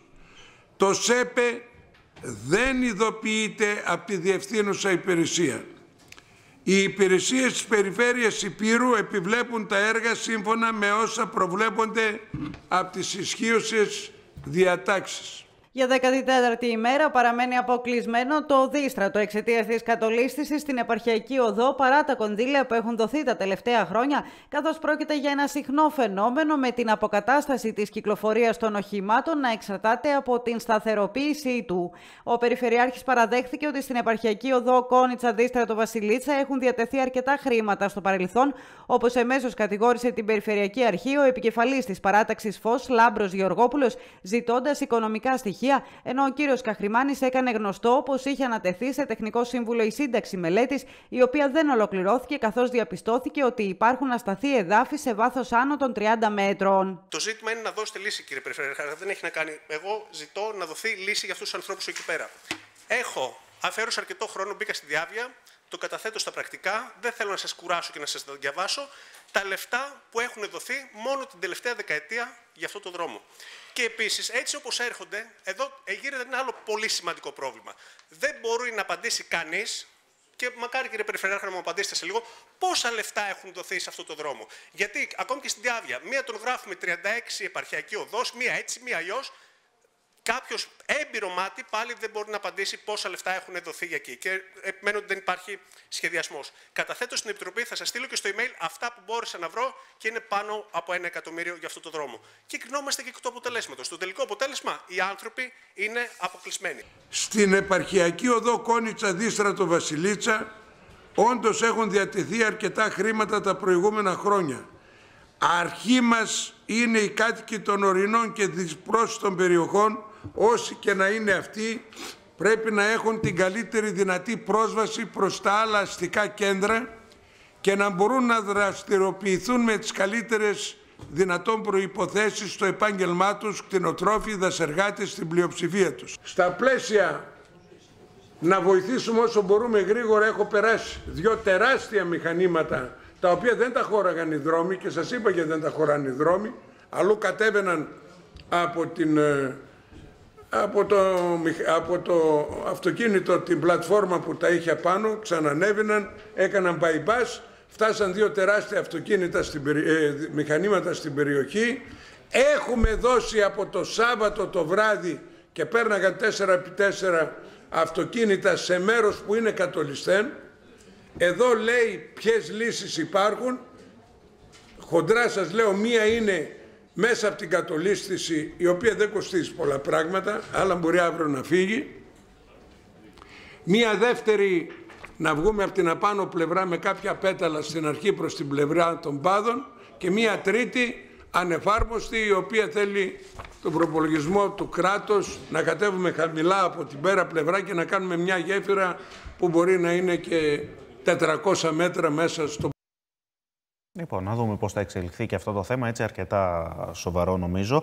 Τώρα, πριν πάμε σε διαφημίσεις, να πω ότι υπάρχει μία ακόμη ανακοίνωση για πολλωστή φορά από την ε, Περιφέρεια Υπήρου για νέες τηλεφωνικές απόπειρες εξαπάτησης πολιτών από αγνώστους για δίθεν εξόφληση λογαριασμών από την Οικονομική Υπηρεσία της Περιφέρειας Υπήρου ή από το Περιφερειακό Ταμείο Ανάκαμψης Υπήρου. Η μεθοδολογία είναι η ίδια που ακολουθείται πάντα σε αυτές τις περιπτώσεις, δηλαδή άγνωστοι οι οποίοι αντλούν στοιχεία από τη διάβγεια, επικοινωνούν τηλεφωνικά με τους δικαιούχους πληρωμών, επικαλούμενοι ονόματα υπαλλήλων ή και δίθεν υπαλλήλων της Οικονομικής Υπηρεσίας της Περιφέρειας Υπήρου ή του Περιφερειακού Ταμείου, από τους οποίους ζητούν ή στοιχεία κωδικών τραπεζών ή έτσι τους παραπέμπουν σε ψεύτικα link τα οποία υποτίθεται ότι δίνουν πρόσβαση έτσι, σε συνεργαζόμενες τράπεζες προκειμένου να καταβάλουν τα χρήματα. Η Περιφέρεια Επίρου λοιπόν σε δελτίο τύπου που εξέδωσε πριν από λίγο επαναλαμβάνει για μία ακόμη φορά ότι δεν υπάρχει περίπτωση υπάλληλό της ή υπάλληλος του Περιφερειακού Ταμείου Ανάκαμψης να ζητήσει από συναλλασσόμενο ή και από οποιονδήποτε άλλο πολίτη κωδικούς τραπεζών και ζητά από όσους γίνονται αποδέκτες τέτοιων τηλεφωνημάτων να επικοινωνούν άμεσα με τις υπηρεσίες της Περιφέρειας Υπήρου. Πολύ, πολύ μεγάλη προσοχή λοιπόν, γιατί όσες φορές, όσες ανακοινώσεις και αν βγάλει η Περιφέρεια Υπήρου, όσες φορές και αν το πούμε εμείς, φαίνεται ότι επιτίδη έτσι συνεχίζουν το έργο τους και, και προσπαθούν να, να βγάλουν από όπου μπορούν και να κερδίσουν από όπου μπορούν. Πολύ, πολύ μεγάλη προσοχή. Κανένας δεν θα σας πάρει ποτέ τηλέφωνο, πόσο μάλλον από το προσωπικό του τηλέφωνο, έτσι, για να, για να ζητήσει κωδικούς τραπεζών ή οτιδήποτε άλλο μπορεί να παρέχει πρόσβαση σε χρηματικά ποσά. Θα είναι πολύ σύντομο και το δεύτερο διαφημιστικό διάλειμμα. Μένετε συντονισμένοι. Επιστρέφουμε σε πολύ λίγο για να μπούμε έτσι και στην τελική ευθεία και για τη σημερινή εκπομπή.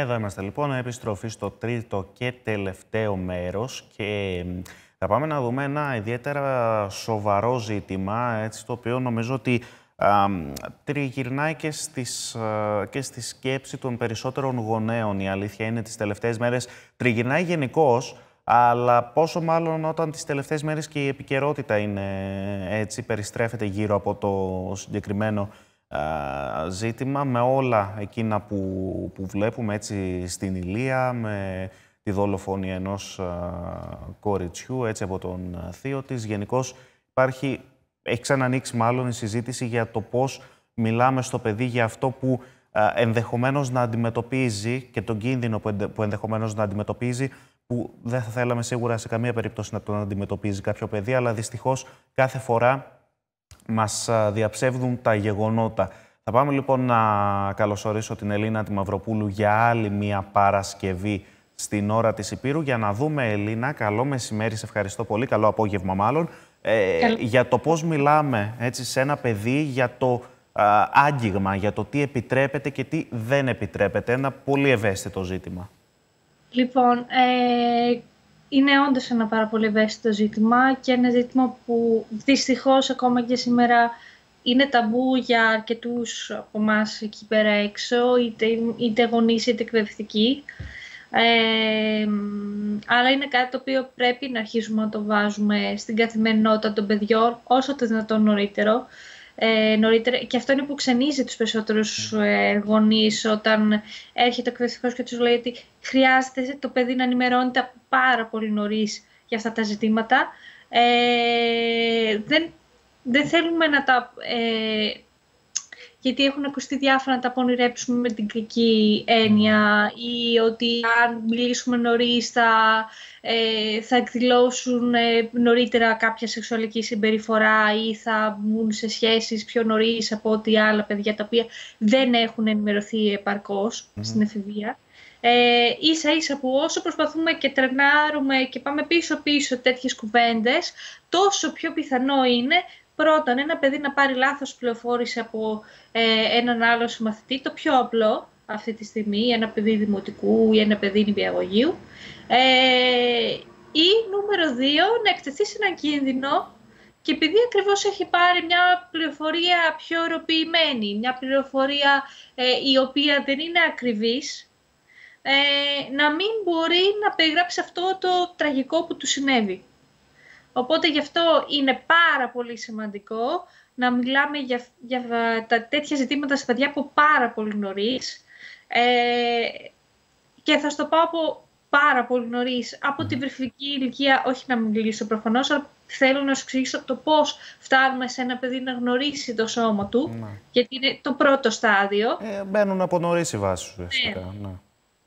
Ε, ότι από νωρίς ένα παιδί μέχρι τους 6 μήνες καταλαβαίνει εσωτερικά το σώμα του, τις κινήσεις του προσώπου του, έτσι ξεκινάμε και συνέχεια γι' αυτό λέμε στα βρέφη να έχουν, ένα, να έχουν οι γονείς ε, έναν καθρέφτη ή παιχνίδια τα οποία έχουν καθρέφτη, ώστε το παιδί να βλέπει το πρόσωπο, τις εκφράσεις του και σιγά σιγά να αποκτά το τι εικόνα έχει το σώμα, το πώς μοιάζει το σώμα μου εξωτερικά. Και σιγά σιγά μέχρι την ηλικία των 4-5 ετών θα δούμε ότι και επειδή ακριβώς η γλώσσα αποκτούν λεξιλόγια τα παιδιά σε αυτές τις ηλικίες, μπορούν να μιλήσουν καλύτερα για το σώμα τους να, και να αντιληφθούν τη διάσταση που έχουν στο χώρο σιγά σιγά με την πάροδο των ετων Ε, είναι σημαντικό από πάρα πολύ νωρίς. Ε, όταν παραδείγματος κάνουμε ε, χάρη, κάνουμε το παιδί μπάνιο. Όταν παραδείγματος χάρη ε, του αλλάζουμε πάνω για πιο μικρά παιδιά, να το ενημερώνουμε τι κάνουμε εκείνη τη στιγμή και γιατί το κάνουμε και όλο αυτό. Πρώτον, και το λεξιλόγιο θα του αναπτύξουμε. Δεύτερον, ε, θα αρχίσουμε σιγά σιγά να χρησιμοποιούμε σωστές ορολογίες για το σώμα του. Είναι πάρα πολύ σημαντικό να μην λέω χαδευτικά ονόματα για τα γεννητικά μέρη του σώματος και να λέω τα σωστά. Ε, και να ενημερώσω το παιδί σιγά σιγά να το βάλω σε μια κουλτούρα το ότι ε, όποιος αγγίξει εκείνα τη σημεία που δεν είναι η μαμά δεν είναι ο γιατρός παρουσία της μαμάς ή δεν είναι ο μπαμπάς που σου αλλάζει πάνω ή όποιος άλλος φροντιστής που του έχει δώσει η, την άδεια ο γονέας, είτε μαμά είτε μπαμπάς, σημαίνει ότι κάτι δεν πάει καλά. Όποιο άγγιγμα ε, σε δυσαρεστεί, σου φέρνει μηχανία, ε, είναι ένα κακό άγγιγμα. Και έτσι μπαίνουμε σιγά σιγά στον κανόνα του σωρούχου. Ότι δεν αφήνουμε κάποιον ε, να μας αγγίξει το εσώρουχό μας αν δεν το θέλουμε ή αν δεν είναι η μαμά για να μας αλλάξει, ο μπαμπάς ή όποιος άλλος μπαίνει σε αυτή τη δικασία. Ε, είναι σημαντικό να, λέω, ε, να, να, πούμε στο παιδί να λέει όχι σε, συγγνώμη, mm. ε, σε, στις αγκαλιές μπορεί να έρχονται από όλες τις που πολλές φορές και εκεί έχουν προστιβέσει οι γονείς πολύ συχνά όσοι προσπαθούν να καλλιεργήσουν αυτή την κουλτούρα στα παιδιά τους ότι γιατί υπάρχουν και παλαιότερες γενιές που θέλουν οπωσδήποτε την αγκαλιά για να λάβουν αυτή την επιβεβαίωση από το παιδί. Αλλά απ' την άλλη, ε, χρειάζεται σιγά σιγά να τους εξηγήσουμε ότι το παιδί θέλει το χρόνο του για να αισθανθεί ασφάλεια και να, πά, και να δώσει σε κάποιον μια αγκαλιά. Και ότι αν δεν θέλει, είναι δικαίωμά του να μην θέλει. Και ότι ε, είναι, είναι σωστό να μάθει να λέει όχι στην αγκαλιά, γιατί όταν θα έρθει κάποιος ε, τρίτος που έχει ε, κακούς σκοπούς και θα του πει να σε πάρω αγκαλιά, να σε αγκαλιασω ε, και εμείς το έχουμε μάθει ότι ε, είναι τροπή να μην μπαίνεις σε αγκαλιά τον χύψη ή δίνα ή συμπεριφερόμαστε με έναν τέτοιο τρόπο που να του έχουμε βάλει αυτό το ταμπού ε, στο μυαλό του, ε, τότε θα, θα δυσκολευτεί να μας πει αυτό το τραγικό το οποίο του συνέβη. Ε, ναι, γιατί καμιά φορά έτσι υπάρχει και ο, ναι.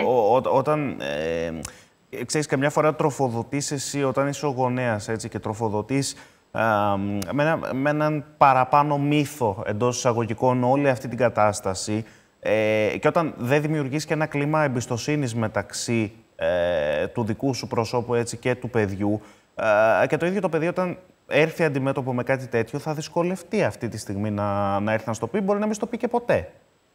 Ακριβώς.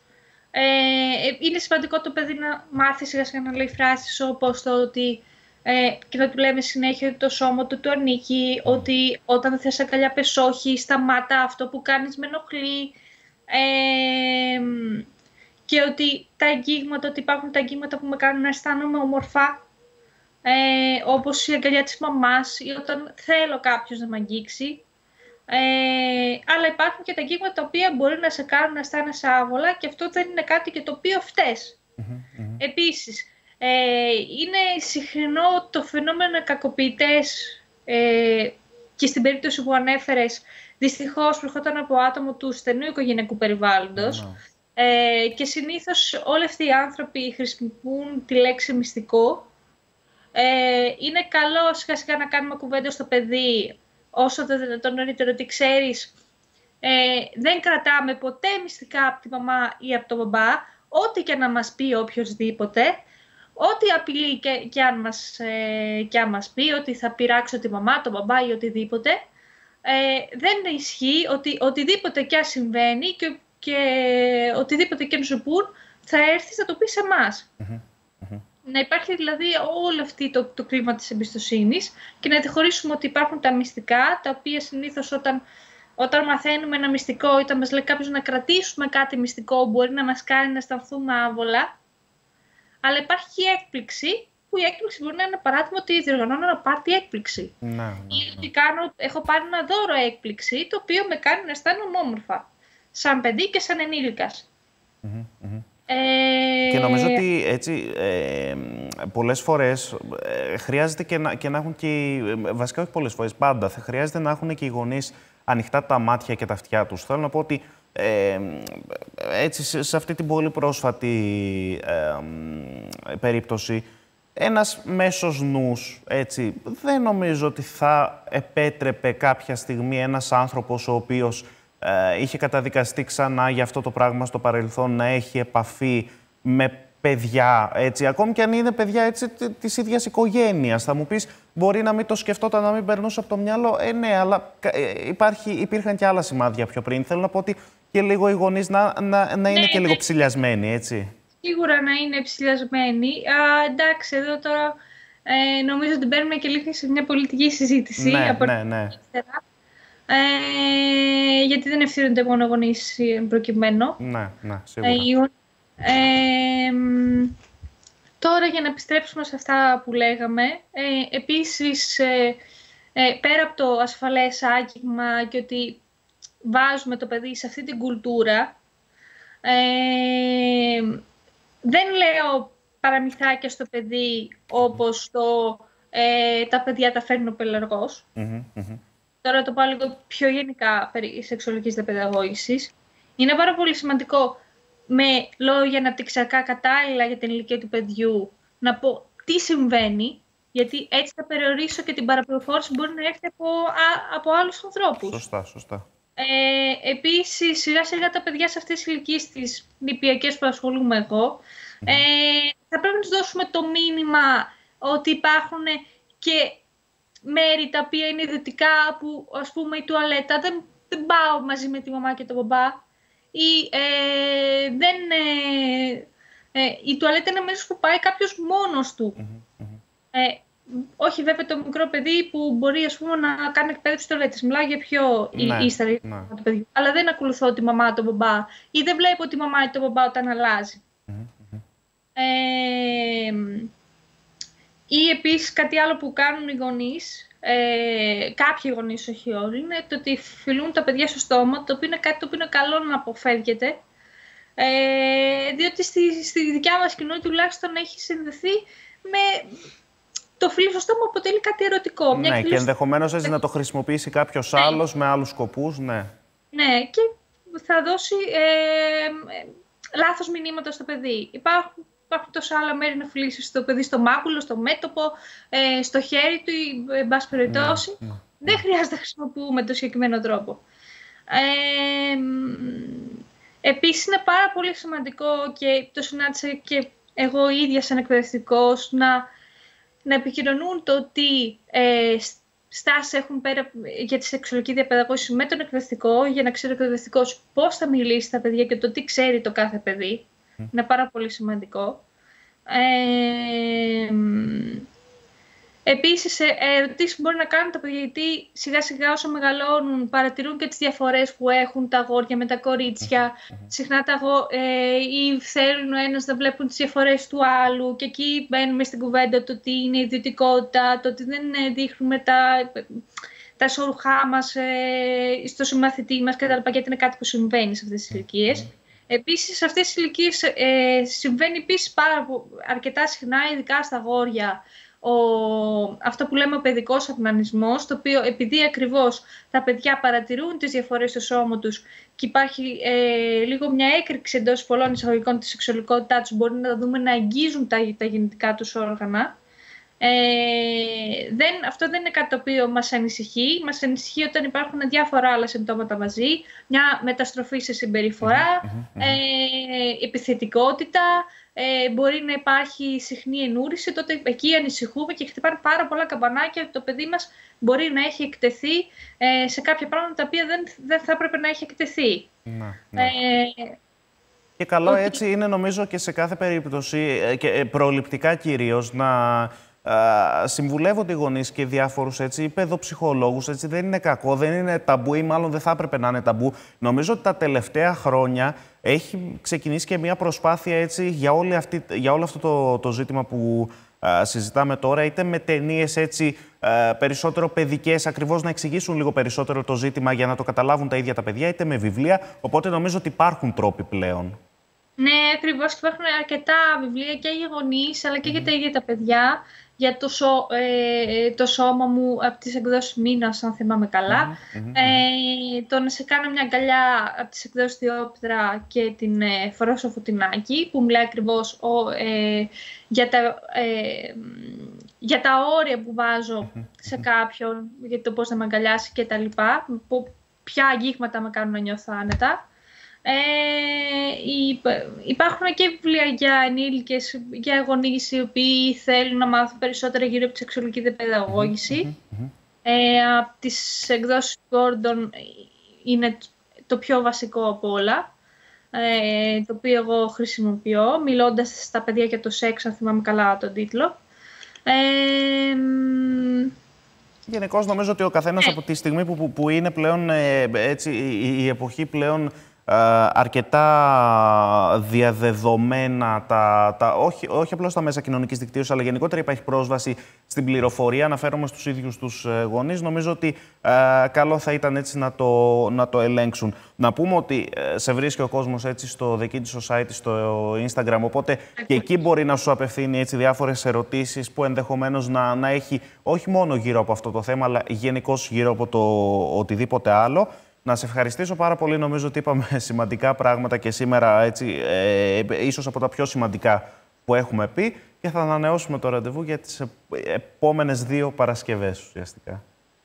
Ε, ευχαριστώ πολύ για σήμερα. Όντως είπαμε πάρα πολύ έτσι, σημαντικά πράγματα και νομίζω πολύ χρήσιμα. Έτσι. Σε ευχαριστώ πάρα πολύ. Σε ευχαριστώ πάρα πολύ.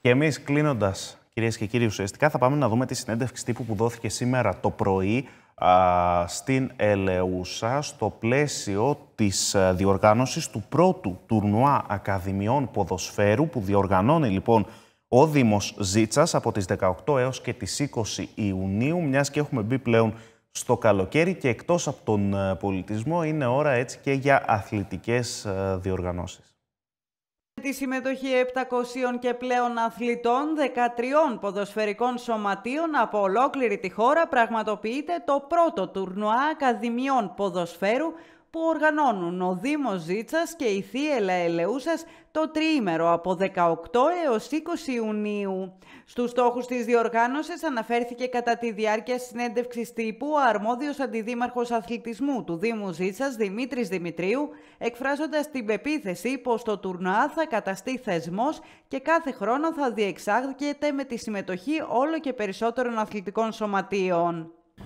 Είμαστε στην ευχάριστη θέση να σας ανακοινώσουμε τη διεξαγωγή του πρώτου τουρνουά Ακαδημιών στο Δήμο Ζήτσας με τη συνεργασία της Θήλα Ελεούσα. Για τη Δημοτική Αρχή Ζήτσας, η διεξαγωγή ενός τουρνουά Ακαδημιών με τη συμμετοχή ομάδων από όλη τη χώρα αποτελούσε στόχο, καθώς θεωρούμε πως πρόκειται για μια διοργάνωση που προάγει τον αθλητισμό, αναπτύσσει την ομαδικότητα και την ευγενή άμυλα μεταξύ των παιδιών και των νέων και τους δίνει κίνητρα να συνεχίσουν να αθλούνται. Ο στόχος αυτός σε λίγες μέρες παίρνει σάρκα και οστά. Με την αμέριστη βοήθεια του Προέδρου της Βουλής, του κ. Κώστα Τασούλα, και την άοκνη προσπάθεια της διοίκησης και της τεχνικής ηγεσίας της Θήλα Ελεούσας. Ευελπιστούμε αυτό το τουρνουά που ξεκινάει την 3η 18 του μήνα να καταστεί θεσμός και να διεξάγεται κάθε χρόνο με τη συμμετοχή όλο και περισσότερων ομάδων από όλη τη χώρα αλλά και από ομάδες του εξωτερικού. Από την πλευρά μας, ως Δημοτική Αρχή, τέτοιες διοργανώσεις τις επιδιώκουμε, τις στηρίζουμε και τις αναδεικνύουμε. Γιατί θεωρούμε πως αποτελούν αφενός μια, μια εξαιρετική αγωνιστική και εκπαιδευτική εμπειρία για την νεολαία μας και αφετέρου μια ευκαιρία προβολής και ανάδειξης του τόπου μας. Στη δύσκολη εποχή που ζούμε, η Δημοτική Αρχή, συνεργασία με όλους τους αθλητικούς φορείς και το σωματεία του Δήμου μας, προσπαθούμε να δώσουμε όσο του δυνατόν περισσότερες εναλλακτικές άθλησει για την νεολαία μας, ώστε να τους δώσουμε κίνητρα να ασχοληθούν με τον αθλητισμό και να απαλλάξουμε τους γονείς από τις συνεχείς μετακινήσεις από και προς την πόλη των Ιωαννίνων. Τον πρόεδρο της Βουλής Κώστα Τασούλα και τον δήμαρχο Ζήτσας Μιχάλη Πλιάκο ευχαρίστησε ο τεχνικός διευθυντής της Θίελας Γιώργος Ντάσιος ευχόμενος το τουρνουά αυτό να είναι η αρχή για νέες αθλητικές δραστηριότητες. Σε αυτό το σημείο και εγώ θα ήθελα να ευχαριστήσω ε, τον ε, πρόεδρο της ε, Βουλής, τον κύριο Τασούλα, για, για τη διεξαγωγή αυτού του τουρνουά, όπως επίσης και τον δήμαρχο Ζήτσας, τον κύριο Μιχάλη Πλιάκο, που το τελευταίο διάστημα είναι πάντα κοντά ε, στην ομάδα μας και σε ό,τι ε, προσπαθούμε και εμείς να, να κάνουμε προς το καλύτερο πάντα και για τον, ε, και για τον τόπο εδώ, ε, όσο και για το γήπεδο, όσο και για το σύλλογο που τα τελευταία χρόνια είναι σε ανωδική πορεία. Ε, επίσης, να ευχαριστήσω τον κύριο Αντιδήμαρχο, κύριο Δημητρίου, για την καθημερινή στήριξη πάνω σε αυτό το εγχείρημα που έχουμε αποφασίσει από κοινού. Είναι, νομίζω δεν έχει ξαναγίνει κάτι τέτοιο στο Δήμο μας, όπως και από την ομάδα της Τέλειας Ελεούσας. Ε, είναι η πρώτη φορά που διοργανώνει ένα τέτοιο τουρνουά. Ε, θα έρθει ο Αστέρας Τρίπολης, ο Όφη Αστέρας Ρεθύμνου, Ατσαλένιος Ηρακλείου, η Αναγέννηση Αεράπετρας, Αστέρας Μεσολογγίου, Ολυμπιακός Άσου, Ναυπα... Ναυπακτιακός Αστέρας και ομάδα από τη Λάρισα Olympic. Αυτές οι ομάδες είναι που θα έρθουν εκτός. Μιλάμε για αθλητές που ε, θεωρούμε είναι γύρω στα 500 άτομα. Συν τις ομάδες που θα πάρουν μέρος ε, από τον νομό Ιαννίνων, που είναι ο ΠΑΣ Γιάννενα, η Θύελλα Κατσικάς, ο ΑΟ Γιάννενα και Ελπίδες Ιωαννίνων και το Σταυράκι και φυσικά η δική μας ομάδα που θα πάρει συμμετοχή σε αυτό το τουρνά με όλα τα τμήματά της. Ε, μιλάμε για αθλητές που θα αγγίξουν τους 700. Ε, θεωρώ ότι είναι μεγάλο το, το εγχείρημα και θεωρούμε ότι θα πετύχει. Ε, η προσπάθεια που γίνεται όλο αυτό το διάστημα ε, από αρκετά άτομα ε, είναι πολύ σημαντική και ο στόχος δεν είναι να γίνει για μία χρονιά, αλλά να το καθιερώσουμε και για τα επόμενα χρόνια. Ελπίζω να πάνε όλα καλά. Τα άτομα που θα έρθουν να, να ευχαριστηθούν όχι μόνο ε, όσον αφορά το αθλητικό κομμάτι, αλλά και από την περιοχή μας. Ε, οι ημερομηνίες που διεξαγωγής του τουρνουά θα είναι 18, 19 και 20 Ιουνίου. Ε, η μέρα έναρξης είναι η τρίτη απόγευμα ε, την, τετάρτη, την Τετάρτη θα είναι οι αγώνες πρωί και απόγευμα. Την Πέμπτη θα είναι οι αγώνες πρωί και στη συνέχεια θα υπάρξει και η τελετή λήξης ε, στο γήπεδο Θεόδωρος Λόλης. Ε, εδώ να σημειώσω ότι ε, σε αυτή τη βοήθεια το Σταυράκι μας παρέχει το γήπεδο του ε, γιατί ε, είναι μεγάλος όγκος των παιχνιδιών και θα χρειαστούμε και το γήπεδο του Σταυράκι. Έτσι λοιπόν θα κλείσουμε με αυτή την ε, σπουδαία διοργάνωση η οποία έρχεται. Να σας ευχαριστήσω λοιπόν που μας παρακολουθήσατε. Έρχεται αμέσως τώρα το απογευματινό δελτίο ειδήσεων από το Ήπειρος στη Βιέννα. Η ώρα της Υπήρου ξανά μαζί σας τη Δευτέρα το μεσημέρι, λίγα λεπτά μετά τις 3. Να είστε όλες και όλοι καλά, να έχετε ένα όμορφο Σαββατοκύριακο.